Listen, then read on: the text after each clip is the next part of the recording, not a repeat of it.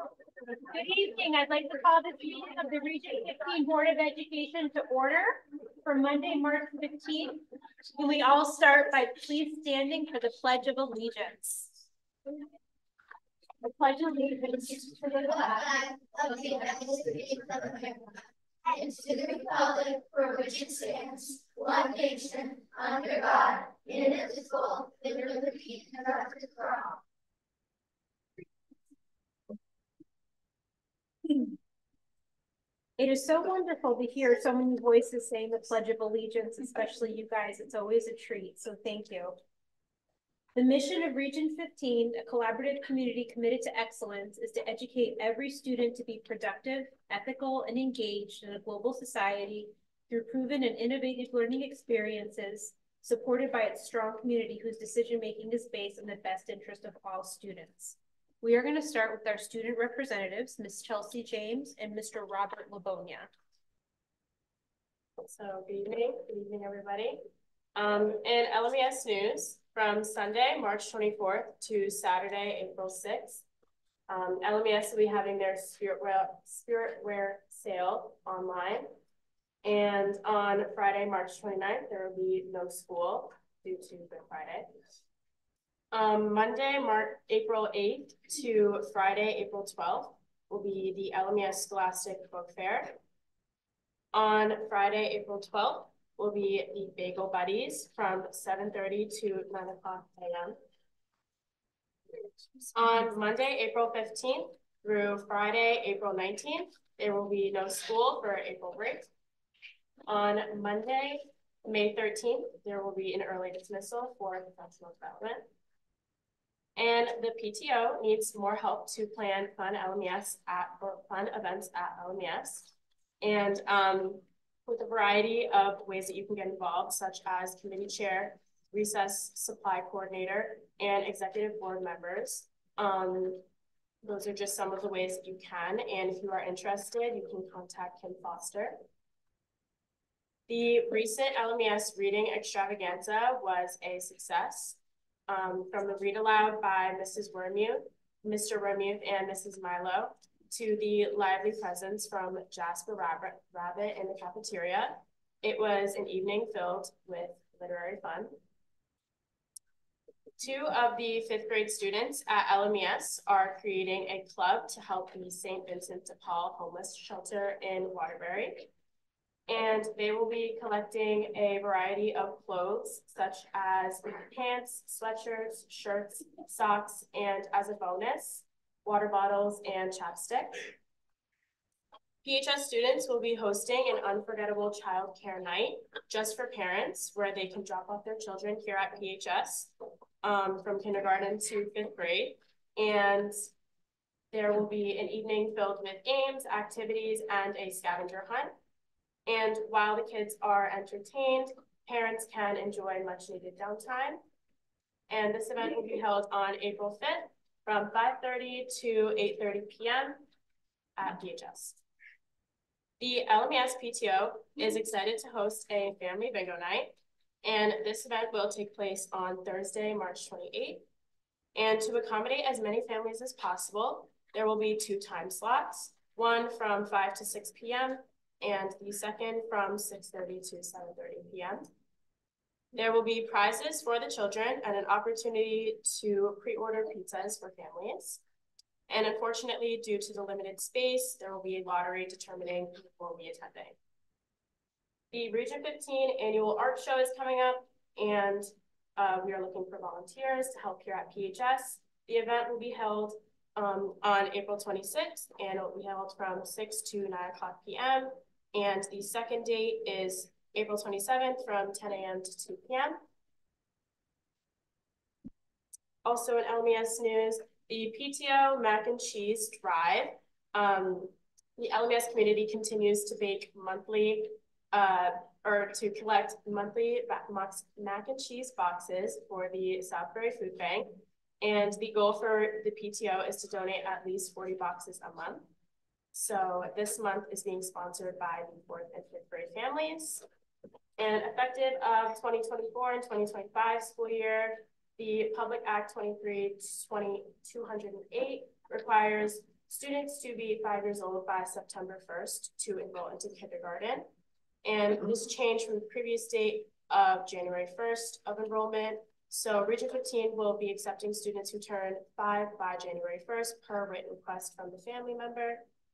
Students will then participate in screening assessments in areas such as academic, social, health, behavioral, and communi- communication skills. And for those who complete the initial kindergarten registration forms, schools will be reaching out by the end of January with the ne- next steps regarding registration. In PES news, a big thank you to the PTO for providing snacks on conference days and it's much appreciated. Last week, PTO, PES had their ten finalists recite the digits of pi live on their morning show and also picked their book bowl PES representatives. March 29th will be no school for Good Friday. April first is the book bowl finalists at PHS at six o'clock. April third is a PTO meeting at seven P M. April fifteenth through the nineteenth is spring recess, no school. And Pomperaug Elementary School is pleased to welcome author Jean Furlow, who uh, through the author and illustrator program through PHS. Um, they also wanted to extend a special thank you to the PTO for providing funding for this exciting enrichment program. And during the week of April 22nd, Mrs. Furlow will visit and discuss her career and the books that she has created. And lastly, in GES news, for the last week of March, GES will be having a Spirit Week and invite all, they invite all students to participate. So today, March 25th, they had Cozy Reading Jammy Day. Tomorrow, Tuesday, March 26th, they will be having Shiny Reading Flashlight Day. Wednesday, March 27th, they will have beach reading and you can bring a towel. And March 28th will dress as a book, will be dressed as a book character day as the grand finale. GES also will be having their bus driver appreciation week to kick off in April. And April 5th will also be the Pomperaug High School Parents Night Out. April 8th is Solar Eclipse Day. So due to the unpredictable weather conditions and safety considerations considering concerning eye protection, um, and the timing of the eclipse being during elementary dismissal, this event will be outdoor, or this event will be broadcasted, so the students will be watching through a live stream. Um, April 23rd, fourth grade spring chorus concert presented by Miss Ashley Dunn. And this will be held at Gainfield Elementary School in their gymnasium at 6.30 p.m. and students should arrive at 6.15. And May 9th is the fifth grade musical concert presented by Ashley Dunn and Mr. Michael Mosca. Mosca, I'm not sure how I pronounce that. Um, this will be in the Gainfield Gymnasium, um, once again at 6.30. And lastly, the book fair will be held this Wednesday, March 27th for students to shop. Thank you, Chelsea. Thank you. Evening, everybody. Um, starting at Rochambeau Middle School, uh, RMS intramural dance is just starting up. Registration is open. Uh, practices will vary throughout the spring, but will start directly after school and only twenty-five slots are available. Uh, the Rochambeau Book Fair starts, started today, March twenty-fifth. Is going through March twenty-eighth. The day following that is Good Friday. There will be no school. Uh, boys baseball and girls softball tryouts start on the twenty-seventh of March. Um, and starting April eleventh, every Thursday, unified kickball and track will begin. This event will go till four P M at, uh, every Thursday. And quarter yearbooks are due by April twelfth. Uh, moving to Memorial Middle School, the RMS and MMS roller skate night was held at Roller Magic on March fifteenth. Roller Magic was closed to the public and students were accompanied by their parents during this event. Girls softball tryouts start on March eighteenth, or started on March eighteenth. Boys baseball starts on March twenty-seventh. And following that is Good Friday, so there will be no school.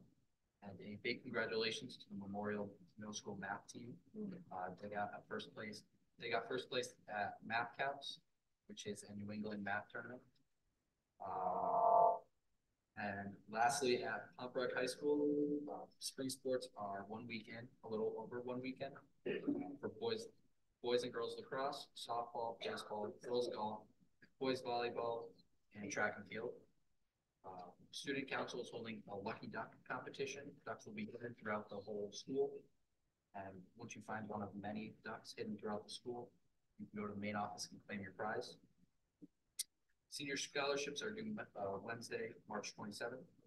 And the senior year experience projects will be held uh, on March twenty-seventh as well.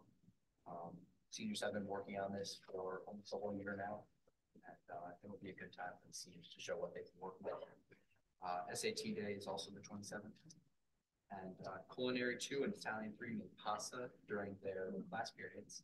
And if you want to find it, it is on Pop Eats on Instagram. Thank you. Thank you very much. Any questions for Ms. James, Ms. Filipponia on their reports? Where's our pasta? No. What are your uh senior project topics? So I took AP capstone, so last year I uh researched the topic of inclusivity and diversity throughout the years of cosmetics in cosmetic industries. Yeah. So that was very exciting for that. I also took AP capstone and AP research. So last year I researched um, peer tutoring within Region fifteen and how it's effective to the students and if I can make it better. Very cool. Thank you. All right, um, before we move on, I just wanted to let everyone know that Mr. Olson is participating online. He has a work commitment. Um, just so that people know. Uh, we'll have next, we have our student performance. The GES fifth grade chorus club. So, welcome, everybody. Can you hear us in the back? We're working on audio, so we're trying. All right, I know you guys can hear me. So I'm gonna turn it over to Mrs. Dunn, and she's gonna introduce our star performers this evening. Thank you. Good evening, everybody. So um, I'm joined tonight by the fifth grade chorus club. These are members of fifth grade who are interested in learning a little bit more about some more complicated vocal repertoires. We meet before school every Wednesday, um, and they're a wonderful group of students. We have a lot of fun together. So we're here tonight in celebration of March being Music in Our Schools Month, and they're going to perform a song for you called One Day by an artist named Matisyahu. We hope you enjoy it. Thank you.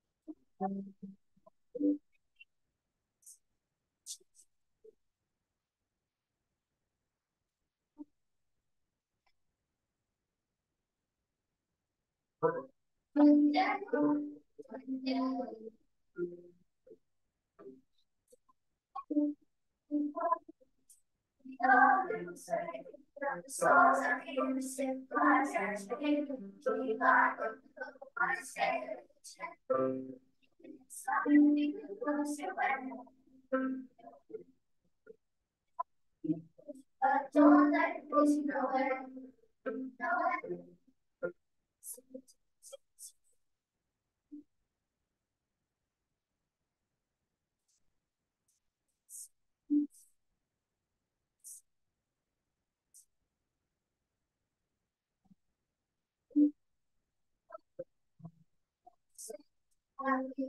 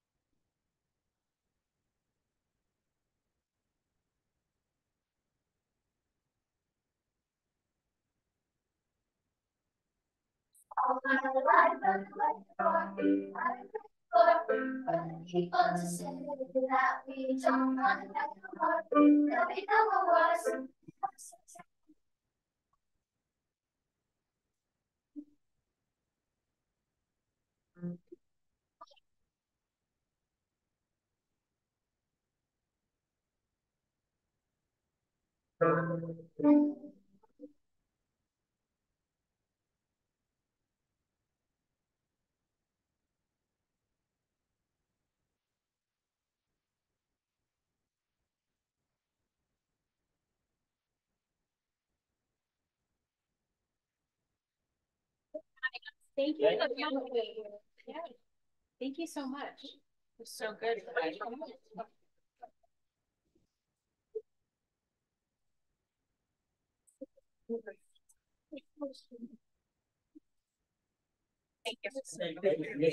Sing again, say.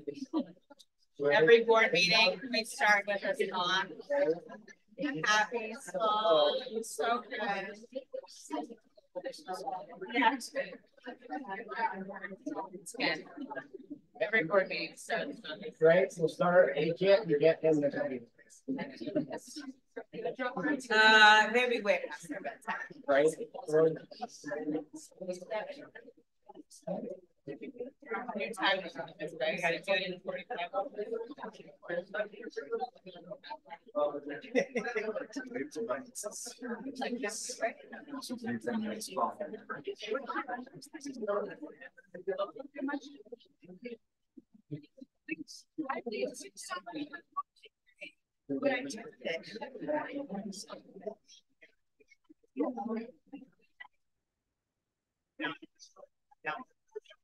All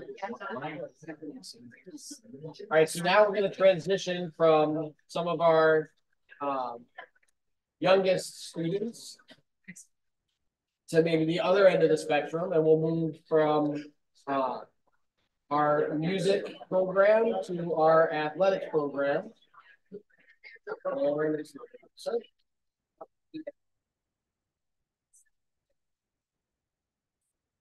Yeah.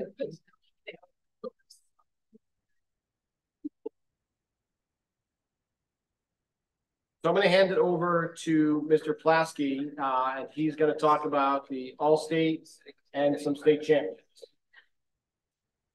Yes. We're probably out of cookies at this point. Right.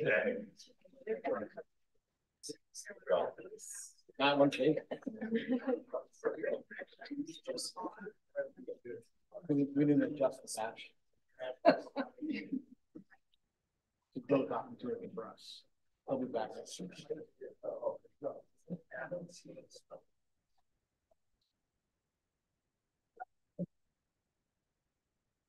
All right, so tonight I'm here to recognize um, uh, winter all-state athletes. So I'd like to call up and uh, honor the following athletes that were named or earned first team all-state honors in their respective sports. Uh, we'd like to congratulate um, these individuals on this outstanding, outstanding accomplishment. So when I call your name, please come up and be recognized. Um, first person I know is not here. She uh, let me know she wasn't going to be able to be here.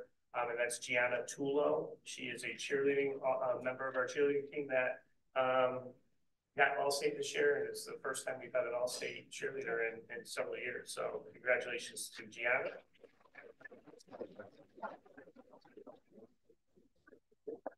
Um, our next all-state athlete is a gymnast, and it's Emily Bevilacqua.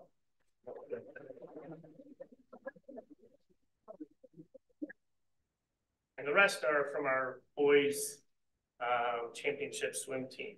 So boys, when I call you up, you're going to come on up, and you'll go around yep. that direction and shake hands with all of the members of the Board of Ed. Uh, so our first one is David Capiello.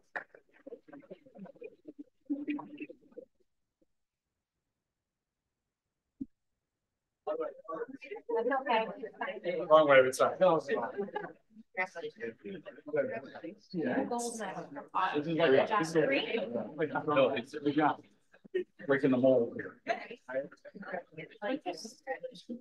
Congratulations. Thank God he flipped in the correct proper direction. That's all right. Uh, next is Jaden Farley.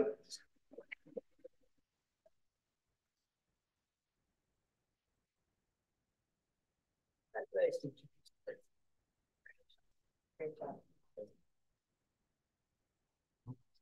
Jake Blair's two thousand twenty-two state championship.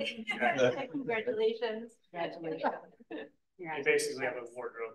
Just gotta keep that. Next is Braden Green.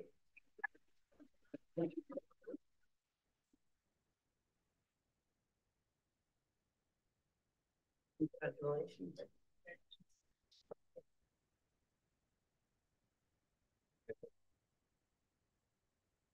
Congratulations. Next would be Jason Hoop.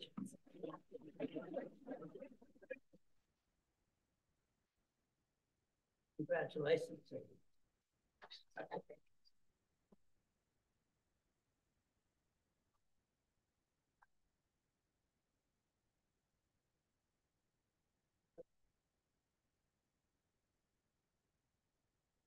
Next athlete would be Logan Queen.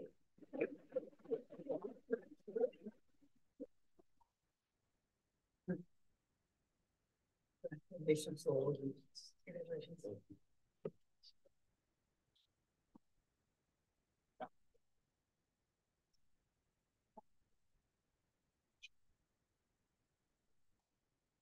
Next would be Cole McCurrier.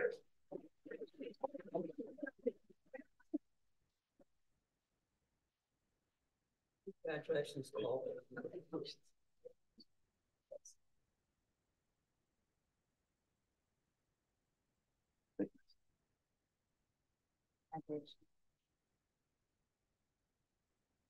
Our seventh swimmer would be Miles Montello.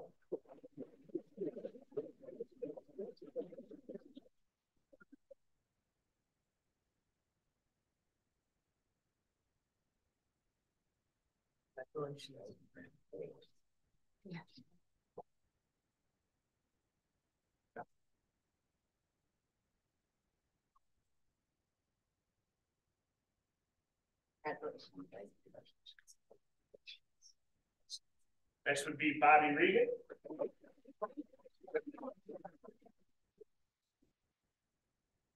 In the class me, Bobby broke one of our school records, held by his brother. Which brother? Congratulations, Bobby. Next year, same thing. Congratulations.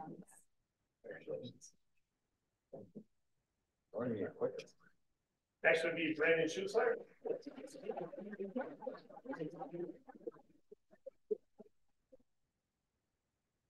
Congratulations, Brittany.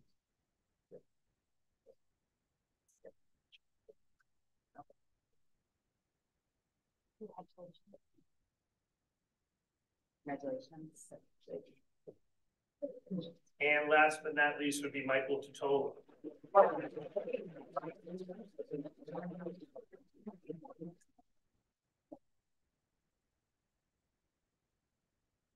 Congratulations.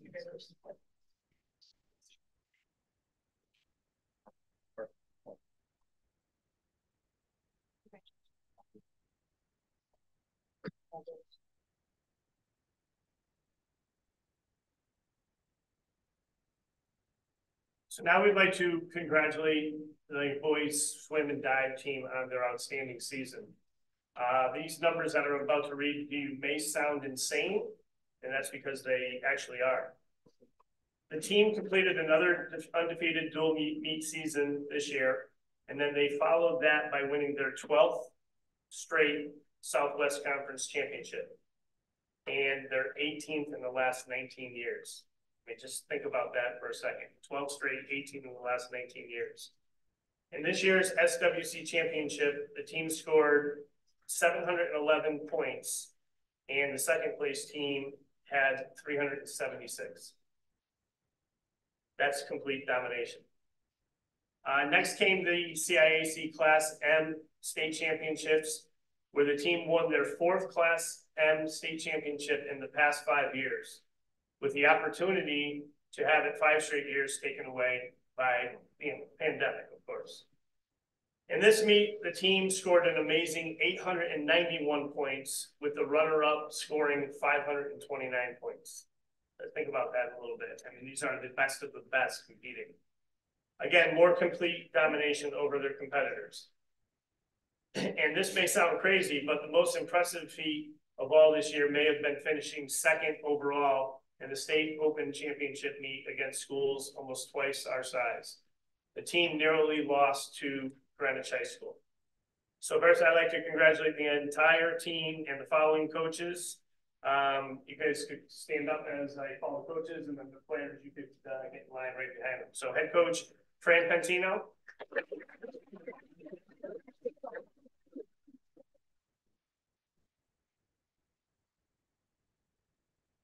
Assistant coach Tim Noel.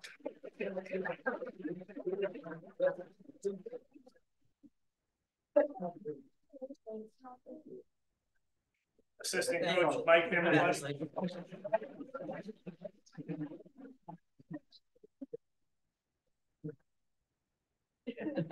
Well done.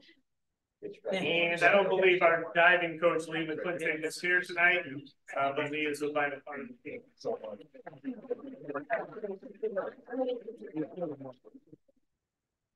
Ladies and gentlemen, uh, you guys can come on up. and take your- Come on, next.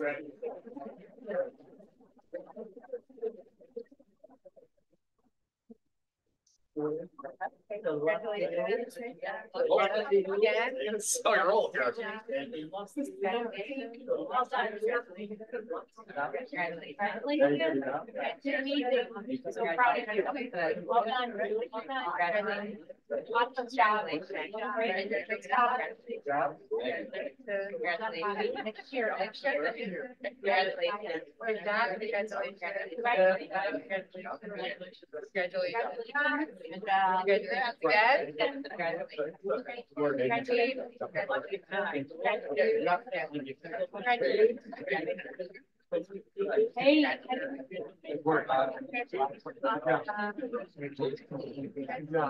Well done, really well done. Lots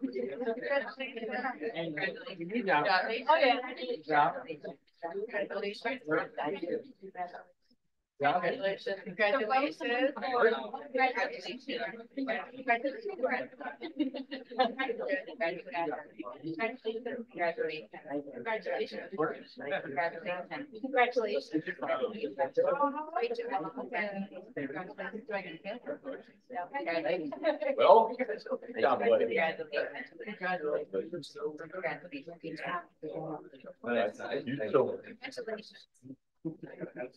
Well, Thank you, guys. Thank you. Thank you so much for making Region fifteen proud, guys, really. Thank you.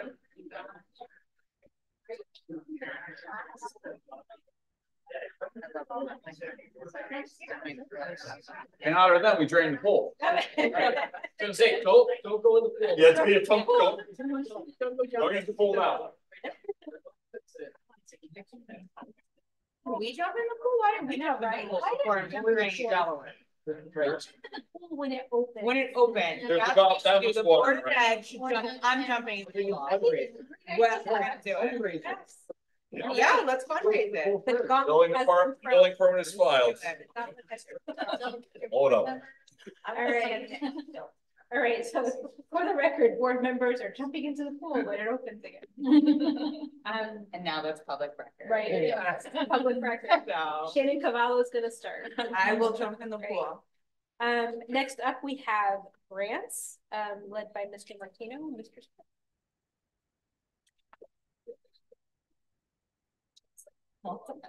It's so quiet in here now.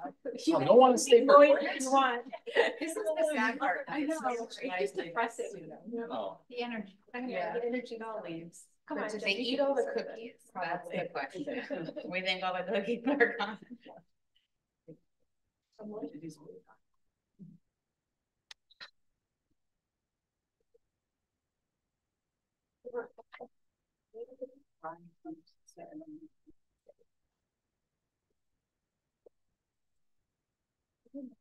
All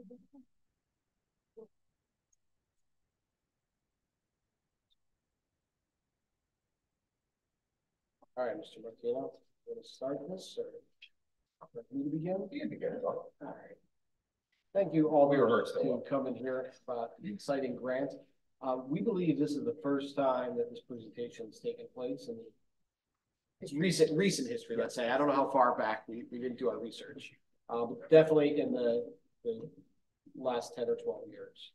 Um, so these are, uh, grants, these are, uh, most of these are entitlement grants. There's a few competitive and then um, and an entitlement grant are grants that are formula driven to school districts. Most of these come from federal government through the state government, um, for public schools. We're gonna talk a little bit tonight about the difference between, um, supplanting school budgets and supporting school budgets. All federal grants can only support a school budget. You can't, um, take what should be funded by the local community and replace those funds with federal funds. So we're gonna talk about Title One and Title Two. Uh, Title One, the main purpose is, uh, to provide children with an opportunity to receive a fair and equitable education. There's a lot of definitions that go into what qualifies for supporting that. Um, and then Title Two is, um, the instructional piece, mostly seen, uh, by professional de- de- development opportunities. Uh, Title Four is, uh, specific to, uh, areas. We don't get a lot of money in Title Four. We get ten thousand dollars in Title Four. Uh, and that's supposed to help school, uh, improve school conditions for student learning. So again, a lot of that happens through smaller professional development grants. Um, and then in Title One, that you can see the dollar amounts there, we get about hundred and twenty-seven thousand in Title One funds. Title Two is about fifty thousand, and then Title Three is, um, designed to provide ML services to students who speak languages other than English as their primary language, um, and to work towards that language proficiency. Um, our Title Three grant, we only get, uh, ninety-five hundred dollars, uh, and we're a part of a consortium for that grant. So Ed Advance helps us manage that grant because it's so small. Um, we also get some special education grant funding. One of those, that IDEA grant, we get about eight hundred and ninety-six thousand dollars. This mostly provides paraprofessional support. Um, and then the six one nine grant is, um, specific to preschool. Uh, we only get about thirty-one thousand dollars in that grant. Uh, and so this is where the federal law hasn't moved, um, to match Connecticut law specifically. Um, but this is where if we did not have this grant, the paraprofessionals that are funded through this grant would fall, um, to our budget. So, um, these grants are massively helpful to fund the, uh, again, support for students with special needs. In addition to these grants, there are the ESSER grants. These were, um, sunset so, and these are the ones you probably had the most touch points with in the last couple of years. So we, how we use those ARP ESSER grants, if you remember, we subsidized the four-person team last year, so we only paid for half of that. Um, and then the other half is in this year's budget. Uh, the portable classrooms, uh, and that's how we spent our one point one million on those. Uh, so the other state grants, these are, um, the first one is the security grant. That is a competitive grant. We apply for that. We get awarded. It's also a matching grant. So, um, those funds that you see there have to have equal amounts of funds from us on the other side. The right to read grant, again, was, it's kind of a hybrid, I would say, in that the state set aside money for school districts. Um, and our allocation was set by the state but we couldn't access that money unless we applied for it and met certain criteria. The high dosage math tutoring, uh, tutoring, that was a competitive grant. You had to fill out the application, you had to meet certain benchmarks and criteria. Um, and I just, to clear up a little bit, that math tutoring wasn't necessarily based on um, school performance. Any school district could apply for that grant. Um, I would, in this case, uh, highlight um, Dr. Chiapetta and our math um, department chair, our coaches, principals worked really hard on that grant. The reason we got so much money was because we met a lot of the criteria that other districts said were too hard to meet. So a lot of people worked on that one. Um, and I think we were the third highest allotment in the state. And again, that's not because of our performance. It's purely because we understood the process and were committed um, to doing this during the school day and in person. A lot of schools did after school um, and remote because that was a um, easier thing to manage, um, but they didn't get as much money. Um, the dual credit expansion is the one that we just went through uh, pretty recently. That's going to fund um, ECE credits here at the high school. The Perkins grant is an entitlement grant. That's an annual grant again. We don't have to apply for that. Uh, we have to apply, but as long as we submit the application, um, and that really funds kind of our CTE, our college and, and um, our career and tech ed program. So it's very specific what those funds can go to. Um, but when we talk a little later about um, culinary or um, some of the other pieces down the tech ed, we can use some of this money annually to, help support that. And then the adult ed grant, we also work with Ed Advance to run the adult ed because thirteen thousand dollars is not enough to run a full-fledged program. So a lot of districts that get small amounts of money are in a consortium run by Ed Advance that runs the adult ed program. They actually use space at Harvard High School for that program. And that is um, the scope of competitive and entitlement grants that come here to Region 15. Any questions? Any questions on grants? Tom, you're the one who, no? This came as a product of our brainstorming of presentations Yeah. that we wanted to add, so. And we, we keep looking at Yeah. more, and there's, there's a lot of small grants here and there. The robotics grant we just went after, and that went to, like a lot more larger school districts than Southern County Prosecuting. We don't necessarily have someone that we've hired to be a grant writer. We're kind of in a, in an awkward Shared. spot. So like, we're not really big as a school district. Um, and a lot of the formulas behind the applications have needs connected, like your food use lunch rate and some of your um, socioeconomic conditions that we don't hit. So the cost benefit of putting on a full-time grant writer, um, But we don't have one. We do So we're not. getting these grants because people here are doing the work. that's correct. That's what I, yeah, that's what. Yes, that is correct. Um, Dr. Chiapetta's office does a lot of them. Um, some of the smaller ones, um, we collaborate with, uh, some of the, uh, teachers, instructional leaders. There's, there's other like smaller grants that, um, but these are all state and federal grants. So this comes from like the community foundation, we would put that here. That'd be much like dollar amount wise smaller. Um, some of the community conversations that you've seen have been supported by grants. Sometimes they're in kind. Um, so it may not be dollar amount, it might be a service, a speaker they provide. Um, like our wellness fair is kind of a grant funded through, um, our health insurance company. Uh, so again, there's, there's no real dollars that we get for that, but we submit the bills to them and they bring in a speaker or a service, um, to promote wellness in the district. But yeah, that all happens through different departments and people here. That's I apologize if I missed this at the beginning, but something like the security camera reimbursement or the HVAC reimbursement, are those considered grants or are those reimbursements? Looks like It's a, it's a matching competitive grant. So we have to show them that we have, if we ask for two hundred thousand, we have to show them that we have two hundred thousand in resources um, allocated to that, and that the full project is four hundred thousand. Uh, in our budget presentation this year, in the revenue sources slide, we have a line for agency placed grant.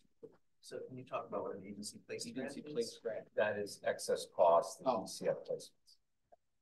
So excess cost is state funded in um response to the formula four and a half times our per student, and then over that, we get eighty-eight or sixty-eight percent reimbursement on that. So um that's the excess cost grant. That's not in here, I guess we could have put that in could here, have. but I guess we kind of already talked about that, so we can, we can put that in here. And then the agency place grant, um, is connected to excess costs, so if we have, um, a student living here that the state places outside of us, whether that be through DCF or, um, some other state organization, we get funded, um, at the, um, excess cost reimbursement percentage, but it's only one time our per student cost, not four and a half times. So the threshold's a lot smaller because we had nothing to do with the placement, we just inherited that. We could, we could put the excess cost right in here. though. Was the idea that like tuition, if a student is placed in our district, like, like we would charge out of district tuition? It no, it'd be like if one of our students were placed in an outside facility.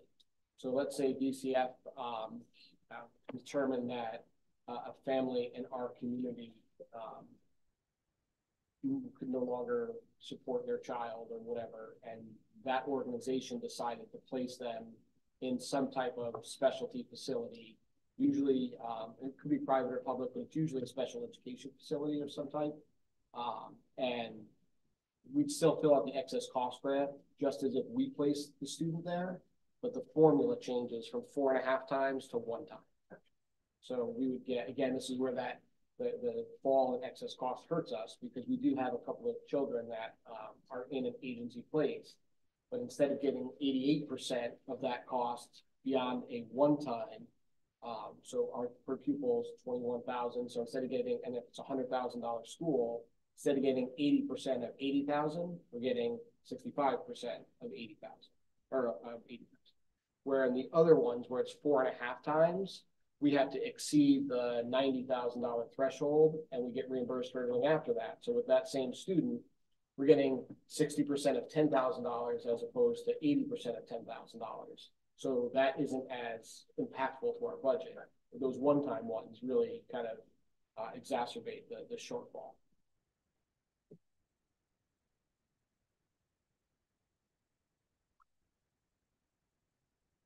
Questions? Well, we now have a start, so we can go with questions going forward. There's not too many going away, which is good, so the ESSER. The ESSER ones, yeah. I mean, Thank you. Air conditioning went on there. No, it wasn't. He- Heating and air We didn't- conditioning. get it. We didn't get it yet. Hold on. Yet? Yeah, All yeah, right. All right, fair yeah, enough. let's, let's. Move the letter. All right. All right.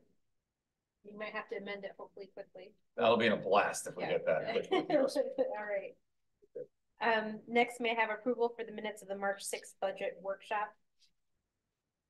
Motion to approve? Motion to approve. Thank you, Second. Shannon. Second by Heather. Any questions, comments?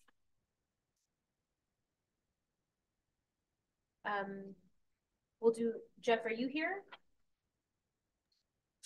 I'm here.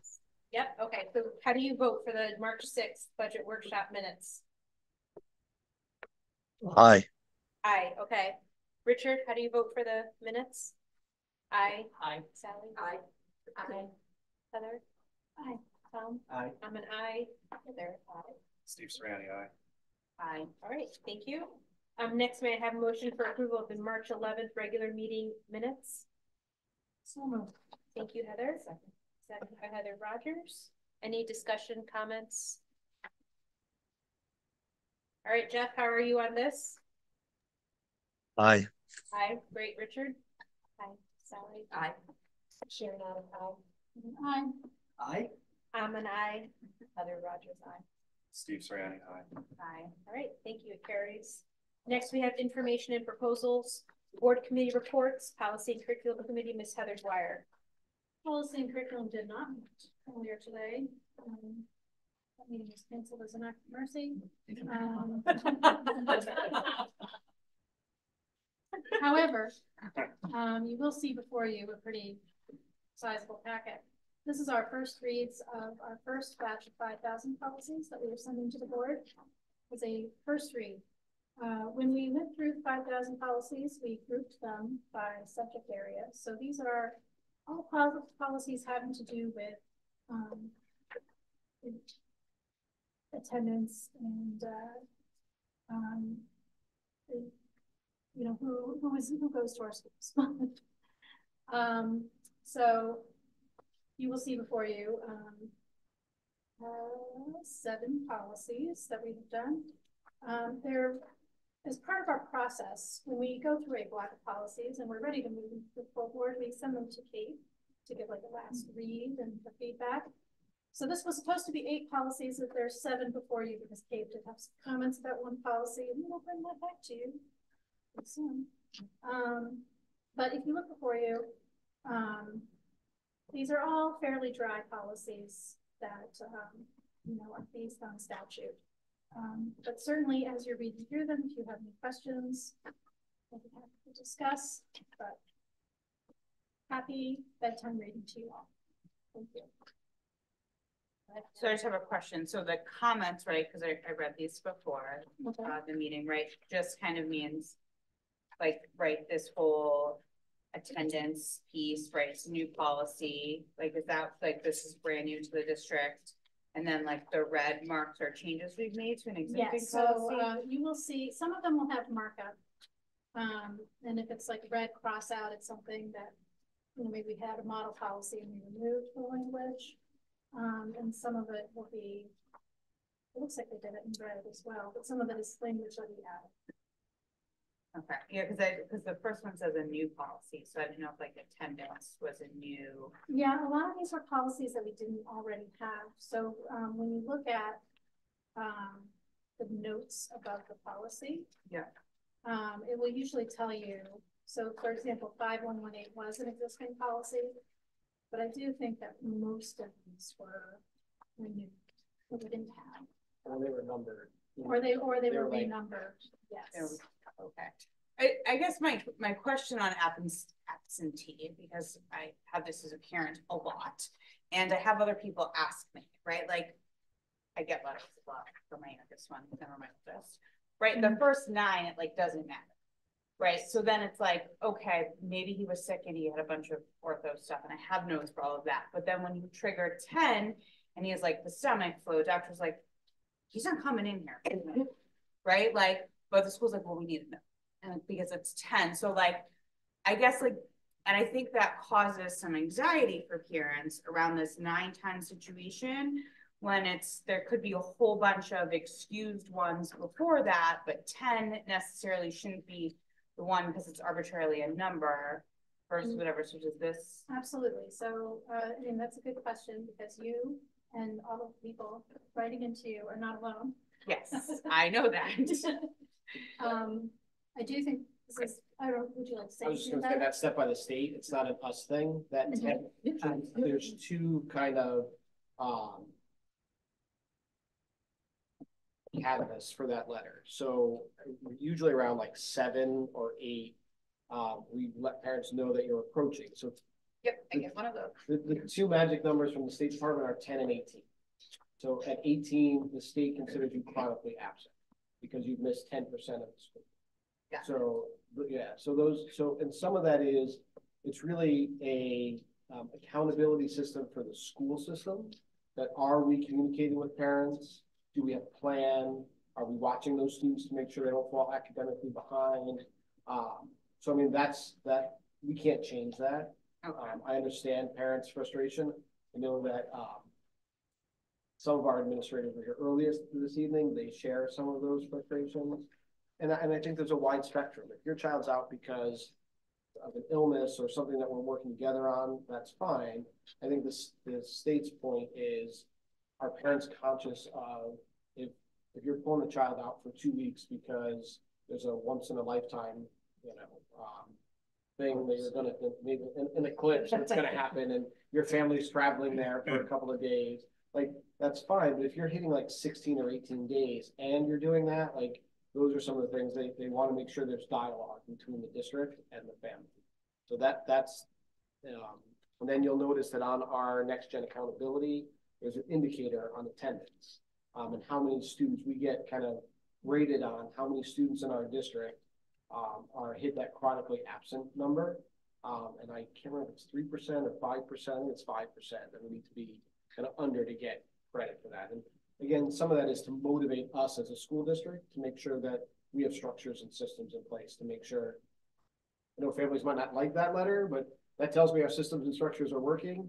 Um, and that we're meeting on a regular basis to review students who might be starting to get, uh, more absences. And again, are we doing something to make sure that child doesn't slip through a crack somewhere? Well, and that's kind of the piece, right? Like, so Enzo Cavallo pushes you over that list every year. But like a lot of it is like he goes to school, he gets nervous, he throws up. They're like, he can't come back here for like all these days. And I'm like, well, he's fine. He's just kind of, the nurse now is better than one in the past where I was like, well, like, he throws up thirty times a year in school. Like, we just can't have him out thirty days.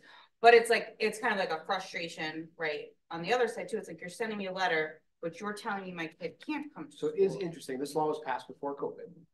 Uh, and so there is kind of this conversation of, well, we don't want to take any risks, you know, um, and if you need Tylenol to keep your fever down, then maybe, you know, you should stay home and do that. Um, and so I do think that there, there's an active conversation. The challenge that all of us are facing in public school is that post-COVID, so before COVID, we had attendance issues in our schools, in, in some school districts. And you're talking like thirty or forty percent of the students are hitting that chronic, chronically absent. Like some of them were huge.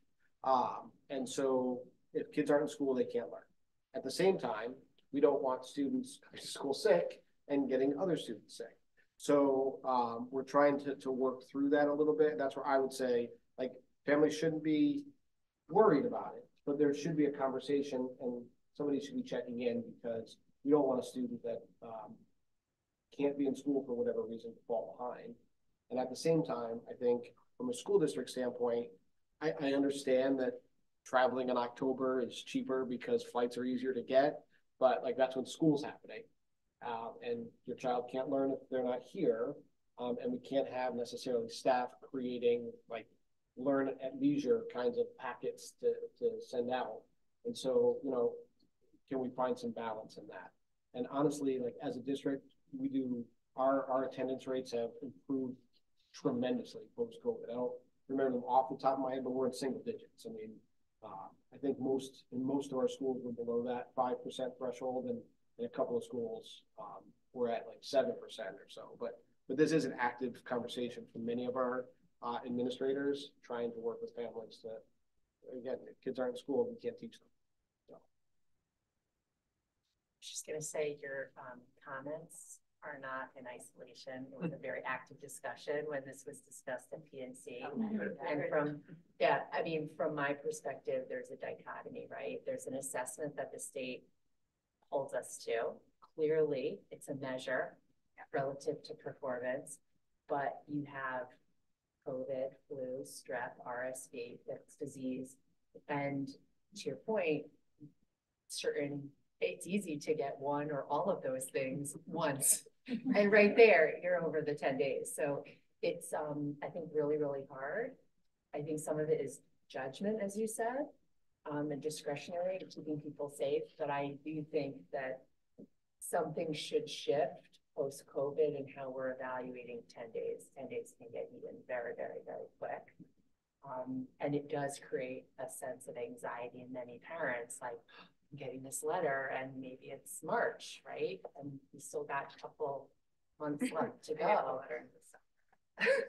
So, Creates a lot of anxiety around. I'm like, I cannot be this letter. and So you stuff. don't want to cause a lot, of- like, so. hear about. Causes a lot of anxiety. I would almost say, like- I'm like, oh, it is. I appreciate the families that feel anxiety about it, because that means like you're conscious, it's the families that, that aren't as conscious of it, and, and there's also a spectrum too, like if your child is school phobic and having trouble coming to school every day, then we need to engage with you and get them to school. just to put this into perspective, I think for younger Yeah. parents mm-hmm. of younger children, it's such a hot topic.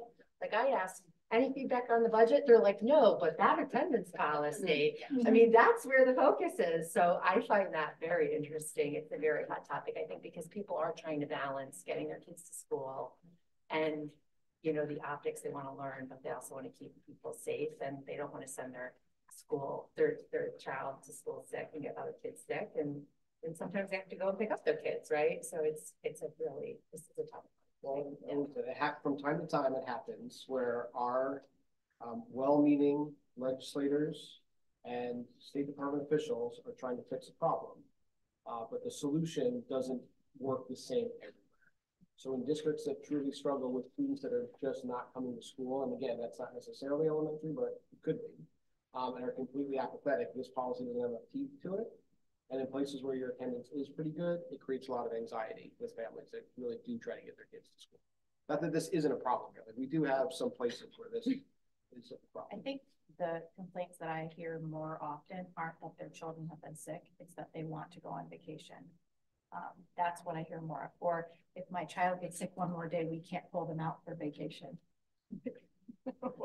There's a struggle, and every Yeah. family is unique and, you know, kids go through peaks and valleys, and so I mean, it- it's an active It's that piece. first nine days thing where they're like, oh, you know, and then you hit ten and it's like, oh god. And that's triggered by, again, it's, that's the state statute, like, we can't, You can easily hit five days in one week, like, just like that.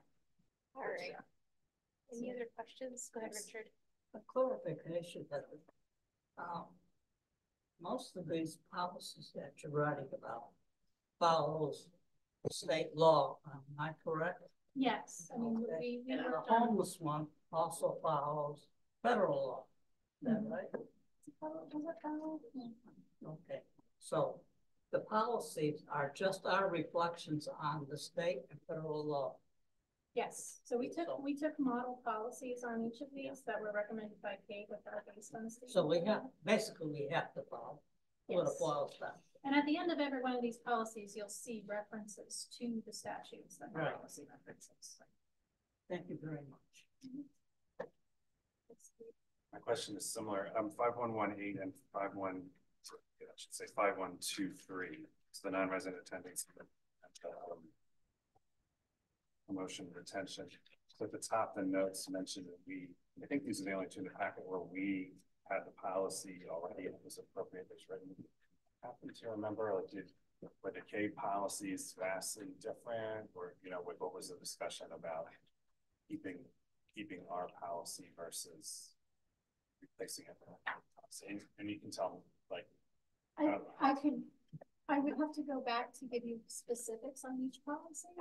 Um, but in general, we valued brevity. okay, Um, but certainly I can go back and I can tell you, um, you know, what, uh, what swayed us as to whether we were going to maybe keep or amend our existing policy versus, you know, use the K model policy If it's- if it's like easy, I don't, you don't need to, I have the notes, I just don't have my computer in front of me, so. okay, thank you. Any other questions on Heather's report? Great, thank you. Next, we have our superintendent's report. the students did a really good job of covering a lot of things that I would talk to, so, uh, I'll skip over, um, really just that, um, kindergarten registration information is on the website. There are, there is a way for waiver for people that, uh, want to go through that process. That's detailed on the website. Also on the website, I put it in, uh, my notes to the community yesterday. The web page with all of the bond projects is now kind of up and running.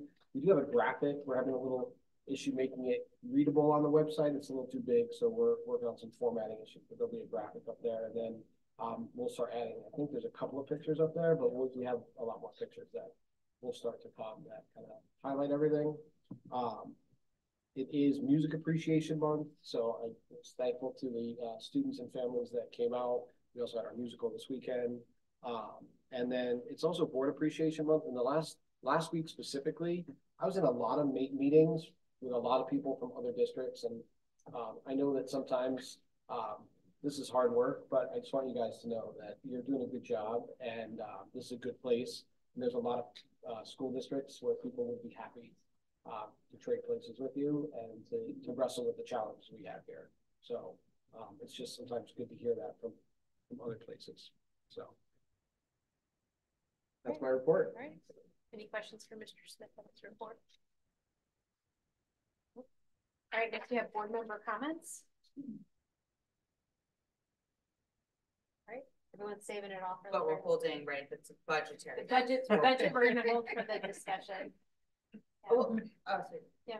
So I just want to say that the play this weekend was so, so good, and we should be so proud of our students, so proud of the students, right, who put that performance on. It was executed flawlessly, so just really well. I, I, I guess I do have a question. That sound system is new? I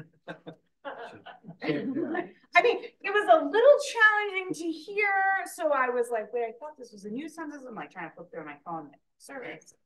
So the soundboard is new, Okay. um, and some of the components are new, um, but not the entire sound system. So that the, um, the board that ran it all, um, had like round fuses and things that, um, uh, from like the nineteen eighties, um, and that all had to be replaced. Uh, I don't know if there'll be new speakers going in with the, I think those big side speakers. One speakers. That's, uh, so I don't know. Not um, here from the back, when people are talking on stage, so that was, Yeah. it was so good, and the little boy. And I forget his name at this point, who was playing Willy Wonka, was, his voice was so good, but he was a more soft-spoken child. So the carrying of that, there was even points where people were like shh, because they wanted to hear what was happening, so I'm just. And maybe I'll save this for like a, a line budget item, because I thought it was new, and I really would like, it's not new, like, for, um. Right, for us to be able to do some more justice. So I don't know, well, I, I'll. I'll look into it. I don't know if that was a speaker issue or like an adjustment Yeah. issue somewhere. Again, the soundboard, but we'll look into it. Right, I mean, right, where you were there, similar. It was challenging. It was a challenge at times, yeah, and it, and I don't want it to be, like, we spent the money to redo it, I really want it to be like. Yeah. Loud for that place, because they I did agree. such a good job, so it's. Maybe I'll, old part of that. So, But it was great. Any other comments? I also attended the, um, the play. I thought it was phenomenal. I was laughing out loud at several, several parts. Um, and poor Mr. Nelson was sitting in front of me. And I mm-hmm. kept on saying, like, do you see that hole in the curtain there? And he's like, I picked up the swatches. And so it's like really great that we're getting new curtains, cause now all I see are the holes. They're coming April fifth. All right. the Curtains come down, literally. My- Poor Mr. Nelson. You can take a piece if you want, I guess. Any other comments? Make suits to jump in the pool with. Yeah. From the. Yeah, but the play was wonderful, really, really wonderful, and I thoroughly enjoyed it, so thank you to everyone who was involved. Um, next, we have comments from citizens. The Board of Education will recognize citizens in Middlebury and Southbury. The citizens are asked to state their name, their town of residence, and to limit their comments to three minutes. In accordance with Region fifteen Board of Education bylaw ninety-three twenty-five A, speakers are asked to express themselves in a civil manner with due respect for the dignity and privacy of others who may be affected by their comments. While it is not the board's intent to stifle public comment, speakers should be aware that if their statements violate the rights of others under the law of defamation or invasion of privacy, the speaker, speaker may be held legally responsible. And we definitely appreciate hearing from members of the public. And while the board cannot respond to any public comment, we are listening and we do appreciate people talking and expressing their opinions. So, and if also when you get up to the stand, if you could write your name down so it's an accurate um spelling for the record, that would be wonderful.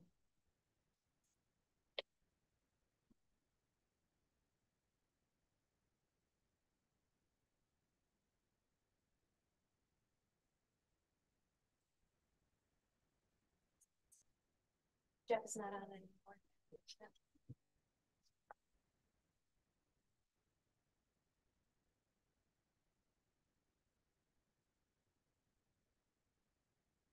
So I think most of you know me, I'm um, Amy Rasmussen from Middlebury. And um, I have watched the budget presentations at home. I couldn't attend the past two Wednesdays, but I have watched them. um, and took some notes and I do understand that a lot of the board members have some concerns with the high number this year.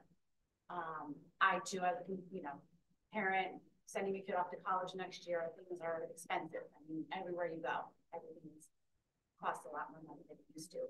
But I do support this budget, um, that Superintendent Smith has put out, um, realizing that it would be under five percent if the state fulfilled their obligation to us. I think we need to really look at that piece of it, that it would be under five percent if we were getting those funds. Um, some of the line items that really stick out to me are the, um, the athletic stuff with the softball and baseball fields. I have a senior, she's graduating, it's not gonna affect her anymore. But she has played four wonderful, starting her fourth year, um, playing on that softball field and who my greatest memories are of Pomperaug are gonna be on that field. So I would love to see the enhancements for these younger players coming up. Um, she's playing in college. She, you know, she did it. So, um, I would love to have that opportunity. And let me tell you, the scoreboards do not work. If it's hot, you don't know that they're flashing. You know, luckily we have game changers so we can kind of see where we are in the game. Um, so those are definitely. And, um, I really don't see anywhere where you could make some adjustments. I said, Ms. Rogers, I know you said maybe pulling little pieces from here and there, um, you know, to get to the kind of numbers that I think some people want. You're talking six, seven figure reductions, and I don't see where that can come from this budget. Um, I worked with Mr. Smith over the years, teacher advisory, and he's always been very transparent and open, and I trust what he says, and I know, um, that he has the best interest for our community at heart. Um, Like I said, we have two girls, I have a freshman and a senior, kindergarten, K twelve as I call them, and, um, Region fifteen did right by, especially my senior. My freshman was some years, but she, you know, Elizabeth has had nothing but a wonderful education, and it's because we put the money in year after year after year to make sure that these students are getting what they need. So I hope you all will support the budget. Um, and like I always say, put it out to the voters. Let's see what the people say. Um, let's see what they have to come back with. Um, we have a referendum every year, and if it doesn't pass, we would go to a second one, but let's see what the voters have to say. Thank you.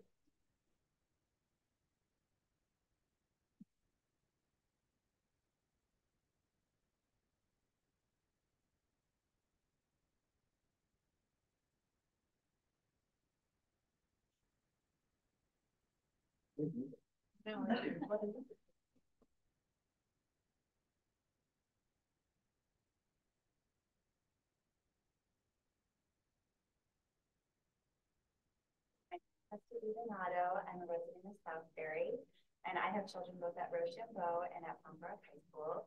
And I just wanted to let everyone know I think you've done a really, really great job of putting together a really fair budget for this year. Um, I'm hundred percent supportive of it. Um, I do feel that most of the parents I'm talking to at both the middle school and high school are in support of the budget. I think everyone recognizes that costs are going up across the board. Um, this really does look like a maintenance budget when you look into it. Um, I think people are really happy to see the capital improvements that are happening. Um, I think over the years, it has been desperately, desperately needed. Uh, we had a lot of band-aids over a lot of big issues, and I do feel like people um, are happy to see that we are making investments. Um, it's not even just about the facilities and the people that use them. It's just about having pride in our schools um, and having people drive up to our campuses and say, wow, this is a really great place. We wish our school looked like this.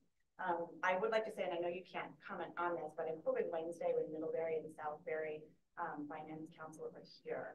Um, I think one thing that we need to recognize um, as, as towns is that um, we do not have any type of um, YMCA, YMCA or like community facilities. So I was on the task force 12 years ago, and 12 years ago, they knew that we needed a community center they had known for 20 years that they needed it. So now it's been 30 plus years. We still don't have a community center. We don't have athletic fields that our programs can be on. It's not turf fields. We have some, obviously, community house and we have some parks that they can be at, but we don't have, we have one turf field in our town and it is maxed out all the time. And for parents who have kids in sports, the schedule is a nightmare. and, you know, even the swimming pool, we have one indoor swimming pool in our, in our entire town. So people talk about you know, the expense or maybe complain and why is it so expensive? Everybody in our town are using our school facilities. Our youth basketball program is maxed out. That all takes place at all of our facilities. So I think it really does need to be a conversation with the town finance committees of how are we using our facilities and is the school charging for facilities? Because if we have to go to Newtown to use their facilities, we have to, you know, get charged a fee. If you have to go to Riverview um, to use their playhouse, you get charged a huge fee. If you need to use the firehouse room, you get charged a huge fee.